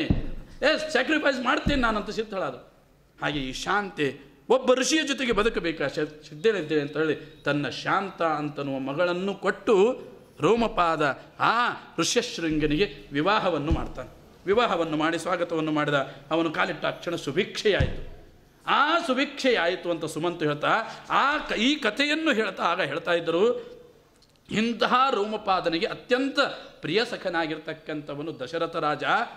ಆ ದಶರಥ ರಾಜ ಅವನು ಮಾಡಬೇಕಾದ ಪುತ್ರರ ಅಪೇಕ್ಷೆಯನ್ನು ಇಟ್ಟುಕೊಂಡು ಅವನು ಯಜ್ಞವನ್ನು ಮಾಡಬೇಕು ಅಂತ ಸಂಕಲ್ಪವನ್ನು ಮಾಡ್ತಾನೆ. ಆ ಸಂಕಲ್ಪಕ್ಕೆ ಋಷ್ಯಶೃಂಗ ಇವನು ಬ್ರಹ್ಮಸ್ಥಾನಕ್ಕೆ ಹೋಗಿ ಪ್ರಧಾನನಾಗಿರ್ತಕ್ಕಂಥ ಪೌರೋಹಿತ್ಯವನ್ನು ಅವನು ವಹಿಸಿದರೆ ಅವನ ಅಪೇಕ್ಷೆ ಇದು ಪೂರ್ಣವಾಗತ್ತೆ ಅಂತ ಹೇಳಿ ಸನತ್ಕುಮಾರರು ಋಷಿಗಳ ಸಭೆಯ ಮಧ್ಯದಲ್ಲಿ ಮುಂದಿನ ಆಗುವ ಈ ಘಟನೆಯ ಭವಿಷ್ಯದ ಕಥೆಯನ್ನು ಹೇಳ್ತಾ ಇದ್ದರು ರಾಜನ್. ಅದಕ್ಕಾಗಿ ಋಷ್ಯಶೃಂಗರನ್ನು ಕರೆಸಬೇಕು. ಹಾಗಾದರೆ ಈಗ ಋಷ್ಯಶೃಂಗರಲ್ಲಿದ್ದಾರೆ ಅವರು ಅಡಿಯೊಳಗಿಲ್ಲ. ರೋಮಪಾದನ ಅರಮನೆಯೊಳಗೆ ಅಳಿಯನಾಗಿ ಒಳ್ಳೆ ಭಕ್ಷ್ಯಭೋಜನಗಳನ್ನು ಸ್ವೀಕಾರ ಮಾಡ್ತಾ ಅಲ್ಲೇ ಇದ್ದಾರೆ. ನೀನು ರೋಮಪಾದನ ಅರಮನೆ, ನೀನು ಹೋಗುವಲ್ಲೇ ನೀನು ಹೋಗಿ ಅವರನ್ನು ರೋಮಪಾದನಿಗೆ ಮನಸ್ಸು ಒಲಿಸು. ಆ ಒಲಸಿ ಏನಪ್ಪ ಅಂತಂದರೆ ಅವನನ್ನು ಕರೆದುಕೊಂಡು ಬಾ ಅಂತಂದಾಗ ಆಯಿತು ಅಂತ ಹೇಳಿ ದಶರಥ ರಾಜ ತನ್ನ ಪ್ರಿಯ ಮಿತ್ರನಾಗಿರ್ತಕ್ಕಂತಹ ರೋಮಪಾದನ ಅರಮನೆಗೆ ಹೋಗ್ತಾನೆ. ರಾಮಪಾದನಿಗೆ ಹೋಗಿ ಅಲ್ಲಿ ಬಹಳ ಸುಂದರವಾದ ಭೂಯೇವ ಹಿ ರಾಜೇಂದ್ರ, ಶೃಣುಮೇ ವಚನಂ ಹಿತಂ, ಯಥಾ ಸ ದೇವಪ್ರವರ ಕಥಯಮೇವ, ಅಬ್ರವೀತ್, ಅನುಮಾನ್ಯ ವಶಿಷ್ಠಂಚೆ ಹೋಗ್ತಾ ಇರುವಾಗ ವಿಚಾರವನ್ನು ಮಾಡಿ. ನನ್ನ ಕುಲಪುರೋಹಿತರು, ನನಗೆ ಇಷ್ಟು ದಿವಸ ಕ್ಷೇಮವನ್ನು ಉಂಟು ಮಾಡಿದವರು, ರಾಜ್ಯದ ಯಾವ ಸಂಪತ್ತಿನ ಒಂದು ಕುಡಿ ಕಾಸಿಗೂ ಕೂಡ ಮೋಹವನ್ನು ಪಡೆದೇ ಇದ್ದವರು ದಶರಥ ರಾಜನ ಕಾಲದಲ್ಲಿ, ಯಾವುದೇ ಕಾಲದಲ್ಲಿ ನೀವು ನೋಡ್ರಿ, ಪ್ರತಿಯೊಂದು ಸಾಮ್ರಾಜ್ಯದಲ್ಲಿ ಒಬ್ಬ ಜ್ಞಾನಿಯಾದ ಬ್ರಾಹ್ಮಣ ಮಂತ್ರಿಯಾಗಿರ್ತಿದ್ದ. ಆದರೆ ಮಂತ್ರಿಯ ಮಹಲ್ನೊಳಗೆ ಇರ್ತಿದ್ದಿಲ್ಲ ಅವನು, ಇಷ್ಟೇ. ಮಂತ್ರಿ ಮಹಲ್ದೊಳಗೆ ಇದ್ದಿದ್ದಿಲ್ಲ ಅವನು. ಮಂತ್ರಿಯಾಗಿ ರಾಜ್ಯದೊಳಗೆ ಇದ್ದಿದ್ದಿಲ್ಲ. ಮಂತ್ರಿಯಾಗಿ ಇರ್ತಿದ್ದ. ಎದಕ್ಕೆ ಮಂತ್ರಿ? ಸೂಕ್ತವಾದ ಅತಿ ಆಪತ್ತು ಬಂದಾಗ, ಧಾರ್ಮಿಕವಾದ ಆಪತ್ತು ಬಂದಾಗ ಅವನಿಗೆ ಸಲಹೆಯನ್ನು ಕೊಟ್ಟು, ತಾನು ಮತ್ತೆ ತನ್ನ ವೃತ್ತಿ ಏನಿದೆಯೋ ತನ್ನ ನದಿ ತೀರಕ್ಕೆ ಹೋಗುವುದು, ಅಲ್ಲಿ ತನ್ನ ಆಶ್ರಮದಲ್ಲಿ ತನ್ನ ತಪಸ್ಸು ಏನೋ ತನ್ನ ಅಧ್ಯಯನವೇನೋ, ತನ್ನ ಅಧ್ಯಾಪನವೇನೋ ಇದೇ ಮಾಡ್ತಾ ಇದ್ದ. ಇದು ವಶಿಷ್ಠರು ಮಾಡಿದ್ದಿದೆ, ವಿಶ್ವಾಮಿತ್ರರು ಮಾಡಿದ್ದಾರೆ ಇದನ್ನೇ ಪ್ರತಿಯೊಬ್ಬರೂ ಕೂಡ ಮಾಡಿದರು. ಅಂದರೆ ತನ್ನ ವಿಹಿತವಾದ ವೃತ್ತಿಗೆ ತಾನು ಅನ್ಯಾಯವನ್ನು ಬಗೆಯದೇನೆ, ತಾನು ಏನು ಮಾಡಬೇಕಾದ ಕರ್ಮವಿದೆಯೋ ಅದನ್ನು ಮಾಡ್ತಾ ರಾಜ್ಯಕ್ಕೆ ಹಿತವನ್ನು ಬಯಸಿದ ಪಾಂಡವರ ಕಾಲದಲ್ಲಿ ಧೌಮ್ಯ ಋಷಿಗಳನ್ನು ಕಾಣ್ತೇವೆ ಎಲ್ಲ ರಾಜರ ಜೊತೆಗೂ ಕೂಡ ಇಂತಹ ವ್ಯಕ್ತಿಗಳನ್ನು ನಾವು ಕಾಣ್ತಾ ಬರ್ತೇವೆ. ಮೊಘಲ ಸಾಮ್ರಾಜ್ಯದಲ್ಲಿಯೂ ಅನೇಕ ವ್ಯಕ್ತಿಗಳನ್ನು ನಾವು ಕಾಣ್ತೇವೆ. ಸತ್ಯಬೋಧರ ಕಾಲದಲ್ಲಿರತಕ್ಕಂಥ ಅನೇಕ ವ್ಯಕ್ತಿಗಳನ್ನು ನಾವು ಕಾಣ್ತೇವೆ. ಇವರು ಹಿತವನ್ನು ಬಯಸುವ ಒಬ್ಬ ಶಾಸ್ತ್ರವೇತ್ತನಾದ, ಒಬ್ಬ ಧರ್ಮಶಾಸ್ತ್ರವನ್ನು ತಿಳಿದುಕೊಂಡ ಬ್ರಹ್ಮಜ್ಞಾನಿಗಳು ರಾಜನಿಗೆ ಕ್ಷೇಮವನ್ನು ಉಂಟು ಮಾಡಲಿಕ್ಕೆ ಇದ್ದರು. ಹೀಗಾಗಿ ಈ ವಶಿಷ್ಠರು ತಾವು ಎಂದಿಗೂ ಕೂಡ ಅವರ ಇವತ್ತು ಅಯೋಧ್ಯ ಪಟ್ಟಣಕ್ಕೆ ಹೋಗಿ ಸುಮಂತುವಿನ ಮಂತ್ರಿ ಮಹಲ್ ಹೆಂಗಿತ್ತು ಅಂಬುದು ನೋಡ್ಬೋದು. ಆದರೆ ವಶಿಷ್ಠರ ಮಂತ್ರಿ ಮಹಲ್ ನೋಡ್ಲಿಕ್ಕೆ ಸಿಕ್ಕಿಲ್ಲ ನಾವು. ಯಾಕೆಂದರೆ ಅವರು ತಮ್ಮ ಕರ್ಮ. ಆದ ಕಾರಣ ಅಂಥವ್ರ ಮೇಲೆ ವಿಶಿಷ್ಟ ಗೌರವ. ಒಂದು ಕಡೆಗೆ ಸಂಪತ್ತಿನ ಸೂರಿ ಸೂರಿ ಸಂಪತ್ತಿರ್ತಿತ್ತು. ಆದರೆ ಆ ಸಂಪತ್ತಿನ ಒಂದು ಕಿವಿಡಿ ಕಾಸನ್ನು ಕೂಡ ಮೋಹದಿಂದ ಕಂಡವರಲ್ಲ. ತಮ್ಮ ವೃತ್ತಿಗೆ, ತಮ್ಮ ಧರ್ಮಕ್ಕೆ ಏನು ಬರ್ತಿತ್ತೋ ಅದನ್ನು ಸ್ವೀಕಾರ ಮಾಡೋರು. ಅಂಥದ್ರಿಂದಾಗಿ ಅವರಿಗೆ ಗೌರವ, ವಿಶಿಷ್ಟ ಸ್ಥಾನ ಗೌರವ. ಅದಕ್ಕೆ ಅವನು ಬಂದ ದಶರಥ ರಾಜ, ಅವರಿಗೆ ಬಂದ ಅನುಮತಿಯನ್ನು ತೆಗೆದುಕೊಳ್ತಾನೆ. ಸ್ವಾಮಿ, ಹೀಗೆ ಮಾಡಬೇಕು ಅಂತ ಸುಮಂತು ಅಭಿಪ್ರಾಯಪಟ್ಟಿದ್ದಾನೆ. ಋಷ್ಯಶೃಂಗರನ್ನು ಕರೆತರಬೇಕಾಗಿದೆ. ಅದಕ್ಕೆ ನಿಮ್ಮ ಅಭಿಪ್ರಾಯವೇನು? ಅಂದಾಗ ವಶಿಷ್ಠ ಋಷಿಗಳು ಸ್ಫೂರ್ಣ ಸಮ್ಮತಿಯನ್ನು ಕೊಡ್ತಾರೆ. ಬ್ರಹ್ಮಜ್ಞಾನಿ ಎಲ್ಲವನ್ನು ತಿಳಿದುಕೊಂಡವರು. ಯಾವ ಕರ್ಮಕ್ಕೆ ಭಗವಂತ ಸಂಕಲ್ಪ ತಾನು ಪೂರ್ಣ ಫಲವನ್ನು ಕೊಡಬೇಕು ಅಂತ ಅವನ ಅಪೇಕ್ಷೆ ಇದೆ ಎಂಬುದು ತಿಳಿದುಕೊಂಡ ಜ್ಞಾನಿಗಳು, ಓ, ಅವಶ್ಯವಾಗಿ ಕರೆದುಕೊಂಡು ಬಾ ಅಂತ ಹೇಳಿದರು. ಆಗ ತಾನು ರೋಮಪಾದನ ಅರಮನೆಗೆ ಬಂದ, ರೋಮಪಾದನ ಅನಮಗೆ ಬಂದು ಅಲ್ಲಿ ಆ ಒಂದು ವಿಶೇಷವಾಗಿ ಅವನ ಪ್ರಾರ್ಥನೆಯನ್ನು ಮಾಡಿಕೊಂಡ, ಪ್ರಾರ್ಥನೆಯನ್ನು ಮಾಡಿಕೊಂಡು ಋಷ್ಯಶೃಂಗರನ್ನು ದಶರಥ ರಾಜ ತನ್ನ ಅಯೋಧ್ಯ ಪಟ್ಟಣಕ್ಕೆ ಕರೆದುಕೊಂಡು ಬರ್ತಾನೆ, ಅಯೋಧ್ಯ ಪಟ್ಟಣಕ್ಕೆ ಕರೆದುಕೊಂಡ ಮೇದ ಮೇಲೆ ಅಲ್ಲಿ ಅದ್ಭುತವಾಗಿರ್ತಕ್ಕಂತಹ ಯಜ್ಞದ ಒಂದು ವೇದಿಕೆಯನ್ನು, ನಿರ್ಮಾಣವನ್ನು ಮಾಡ್ತಾರೆ. ಮೊದಲಿಗೆ ಅಶ್ವಮೇಧ ಯಜ್ಞವನ್ನು ಸಂಪೂರ್ಣವಾಗಿ, ಅದರ ಸಣ್ಣ ಸಣ್ಣ ಸೂಕ್ಷ್ಮವಾಗಿರ್ತಕ್ಕಂತಹ ಧರ್ಮದ ಅನೇಕ ಆಚರಣೆ ವಿಷಯಗಳನ್ನು ನಮಗೆ ರಾಮಾಯಣ ತಿಳಿಸಿಕೊಡ್ತದೆ. ಮುಂದೆ ಆ ಪುತ್ರ ಕಾಮೇಷ್ಟಿ ಯಾಗವನ್ನು ದಶರಥ ರಾಜ ಆ ಋಷ್ಯಶೃಂಗರ ಅಧ್ಯಕ್ಷತೆಯಲ್ಲಿ ಮಾಡಿದಾಗ ಸಾಕ್ಷಾತ್ ಪತ್ನೀಮಿವ ಪ್ರಿಯ. ಸಾಕ್ಷಾತ್ ಭಗವಂತನೇ ಪ್ರಜಾಪತಿಯ ರೂಪದೊಳಗೆ ದಿವ್ಯವಾಗಿರತಕ್ಕಂತಹ ಧರ್ಮಮಯವಾದ, ಬ್ರಹ್ಮಮಯವಾಗಿರ್ತಕ್ಕಂತಹ ತನ್ನ ತೇಜಸ್ಸಿನ ಪ್ರತಿರೂಪವಾಗಿರುವ. ಅಲ್ಲಿ ವಾಲ್ಮೀಕಿ ಋಷಿಗಳು ಹೇಳ್ತಾರೆ, ಆ ಕಲಶವನ್ನು ಕಂಡಾಕ್ಷಣ ಹೇಗೆ ಅವನಿಗೆ ತೋರಿತು ದಶರಥ ರಾಜನಿಗೆ? ವಾಲ್ಮೀಕಿ ಋಷಿಗಳ ಉಪಮೆ ಅದ್ಭುತವಾದದ್ದು. ಅದು ಚಾಚೂ ತಪ್ಪದೇನೆ, ಆ ಕಡೆ ಈ ಕಡೆದೇ ಇಂಬ್ಯಾಲೆನ್ಸ್ ಎಂದೂ ಮಾಡೋದಿಲ್ಲ ಅವರು. ಅಷ್ಟು ಸಮರ್ಪಕವಾಗಿ. ತಾನು ಏನು ಪಡಿಬೇಕಾಗಿದೆ ಎದಕ್ಕೆ ಮಾಡ್ತಾ ಇದ್ದಾನೆ, ಏನು ಮಾಡ್ತಾ ಇದ್ದಾನೆ, ಉದ್ದೇಶ ಏನು? ಉತ್ತಮವಾಗಿರ್ತಕ್ಕಂತಹ ಸಂತಾನವನ್ನು ಪಡೆಯಬೇಕು ಅಂತ ಅಪೇಕ್ಷೆ. ಆ ಅಪೇಕ್ಷೆಯಿಂದ, ಆದರೆ ಆ ಅಪೇಕ್ಷೆ ಪೂರ್ಣವಾಗಬೇಕಾದರೆ ಅದಕ್ಕೆ ಅಧಿಷ್ಠಾನ ಯಾರು? ತಾಯಿ ಅಲ್ಲವೇ ಹೆಣ್ಣೇ ಬೇಕಲ್ಲವೇ? ಹೆಣ್ಣು ಇಲ್ಲದೇ ಇದ್ದರೆ ಸೃಷ್ಟಿ ಆಗಲಿಕ್ಕೆ ಸಖ್ಯವೇ ಹಾಗಾದರೆ ಆ ಹೆಣ್ಣು, ಆ ಹೆಣ್ಣೇ ಆ ಕಲಶದ ರೂಪದಲ್ಲಿ ಕಂಡನಂತೆ. ತನ್ನ ಸತಿಯರನ್ನೇ ಆ ಕಲಶದಲ್ಲಿ ಕಂಡ. ಅರ್ಥಾತ್ ತನ್ನ ಸತಿಯರು, ಆ ಕೌಸಲ್ಲಿ ಆ ಕೈ ಸುಮಿತ್ರೆ, ಆ ಕೈಕೇಯಿ, ಇವರು ತಾನು ತುಂಬ ಗರ್ಭಿಣಿಯಾದಾಗ ಏನು ಅವರ ಸೊಬಗು ಇರಬೇಕು, ಏನು ಶುಭವಾದ ಕಾಂತಿ ಇರಬೇಕು, ಆ ಶುಭ ಕಾಂತಿಯನ್ನು ಆ ಕಲಶದಲ್ಲಿ ದಶರಥ ರಾಜ ಯಾವಾಗ ಮೊದಲೇ ಮೊದಲನೇ ದರ್ಶನದಲ್ಲಿ ಅವನು ಕಂಡ ಅಂತನ್ನುವುದಕ್ಕಾಗಿ ಆ ಕಾವ್ಯದ ರಸ ಚಿಮ್ಮುವಂತೆ ಪತ್ನೀಮಿವ ಪ್ರಿಯಾಮ್ ಅಂತ ಆ ಶಬ್ದವನ್ನು ಆಡ್ತಾರೆ ವಾಲ್ಮೀಕಿ ಋಷಿಗಳು. ಅಂತಹ ಆ ಕಲಶವನ್ನು ತೆಗೆದುಕೊಂಡು ಬಂದ ಸಾಕ್ಷಾತ್ ಅಗ್ನಿ ದೇವತೆ, ಆ ಸಾಕ್ಷಾತ್ ಪರಬ್ರಹ್ಮ ಪರಮಾತ್ಮ, ಆ ಅಗ್ನಿಯ ದೇವತೆಯ ರೂಪದಲ್ಲಿ ಬಂದ, ಆ ದೇವತೆಯ ರೂಪದಲ್ಲಿ ಬಂದು ಅದನ್ನು ಕೊಡ್ತಾನೆ. ಆಗ ದಶರಥ ರಾಜ ಆ ಪಾಯಸದ ವರ್ಗೀಕರಣವನ್ನು ಮಾಡ್ತಾನೆ. ಬಹಳ ನ್ಯಾಯಯುತವಾದ, ಅವನ ನಿಜವಾಗಿರ್ತಕ್ಕಂಥ ಮೇಧಾವಿತನ. ನೋಡ್ರಿ, ಮೂರು ಮಂದಿ ಹೆಣ್ಮಕ್ಳಿದ್ದಾರೆ. ಮೂರು ಮಂದಿಗೆ ನಾಲ್ಕು ಭಾಗ ಮಾಡಿ ಕೊಡಬೇಕಾಗಿದೆ. ಮೂರು ಮಂದಿಗೆ ನಾಲ್ಕು ಭಾಗ ಮಾಡಿ ಕೊಡಬೇಕಾದ್ರೆ ಅವನೇನು ಮಾಡಬೇಕು ಮೇಲೆ ಏನು ಮೂವತ್ತ್ಮೂರುವರೆ ಹಾಫ್ ಮಾಡಬೇಕು? ಅಧಿಕ ಮಾಸ ಮಾಡಬೇಕು ಒಟ್ಟು ಮೂವತ್ತ್ಮೂರು ಮೂವತ್ತ್ಮೂರು ಮೂವತ್ತ್ಮೂರು ಮಾಡಿ ಒಬ್ಬರು ಸ್ವಲ್ಪ ಕೌಶಲ್ಯಾಗಿ ಒಂದು ಪರ್ಸೆಂಟ್ ಹೆಚ್ಚು ಕೊಟ್ಟು ಮೂವತ್ತ್ನಾಲ್ಕು ಕೊಟ್ಟು ಅಂತರೂ ಹಂಡ್ರೆಡ್ ಮಾಡಿದನು ಹೇಗೆ ಮಾಡಿದ? ಭಾಳ ಅಂದರೆ ವ್ಯವಸ್ಥಿತವಾದ ಮುಂದೆ ರಾಮನ ನಂತರ ಲಕ್ಷ್ಮಣ ಯಾಕೆ ಲಕ್ಷ್ಮಣ ನಂತರನೇ ಭರತ ಯಾಕೆ, ಭರತನ ನಂತರನೇ ಶತ್ರುಘ್ನ ಯಾಕೆ?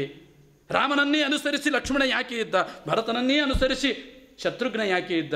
ಹೇಗೆ ಈ ಅಣ್ಣ ತಮ್ಮಂದಿರಲ್ಲಿ ಪರಸ್ಪರವಾಗಿರ್ತಕ್ಕಂತಹ ಸಮ್ಮತ ಸಮ್ಮತಿ ರಾಮನಿಗೆ ವನವಾಸ, ಲಕ್ಷ್ಮಣನಿಗೂ ವನವಾಸ. ಭರತನಿಗೆ ಏನಪ್ಪ ಅಂದರೆ ಸೋದರ ಮಾವನ ಮನೆ ಶತ್ರುಘ್ನಿಗೂ ಅದು ಸೋದರ ಮಾವನ ಮನೆಯಾಯಿತು ಯಾಕೆ ಆಯಿತು? ಈ ಒಡನಾಟದ ಒಲುಮೆಯ ಪ್ರೀತಿಯ ಮೂಲ ಸೆಳೆತವೇನು? ಅಂತನ್ನುವುದು ನಾವು ಪ್ರಶ್ನೆ ಮಾಡಿಕೊಂಡ್ರೆ ಅದನ್ನು ಹುಟ್ಟಿನಲ್ಲೇ ಆ ಗುಟ್ಟನ್ನು ಇಟ್ಟು ಕೊಡ್ತಾರೆ ನಮಗೆ ವಾಲ್ಮೀಕಿ ಋಷಿಗಳು ಹೇಗೆ ಅವನು ಆ ರಸ ಪಾಯಸದ ವಿಭಾಗವನ್ನು ಮಾಡಿದ ಅಂತನ್ನುವುದರಲ್ಲಿ ಆ ಸ್ವಾರಸ್ಯವನ್ನು ತಿಳಿಸ್ತಾರೆ. ನಾಳಿನ ದಿವಸ ಆ ವಿಚಾರವನ್ನು ನಾವೆಲ್ಲರೂ ತಿಳಿಯೋಣ. ಶ್ರೀಕೃಷ್ಣ ಅರ್ಪಣಮಸ್ತು ಮಸ್ತ ಹರಿಕರ್ತ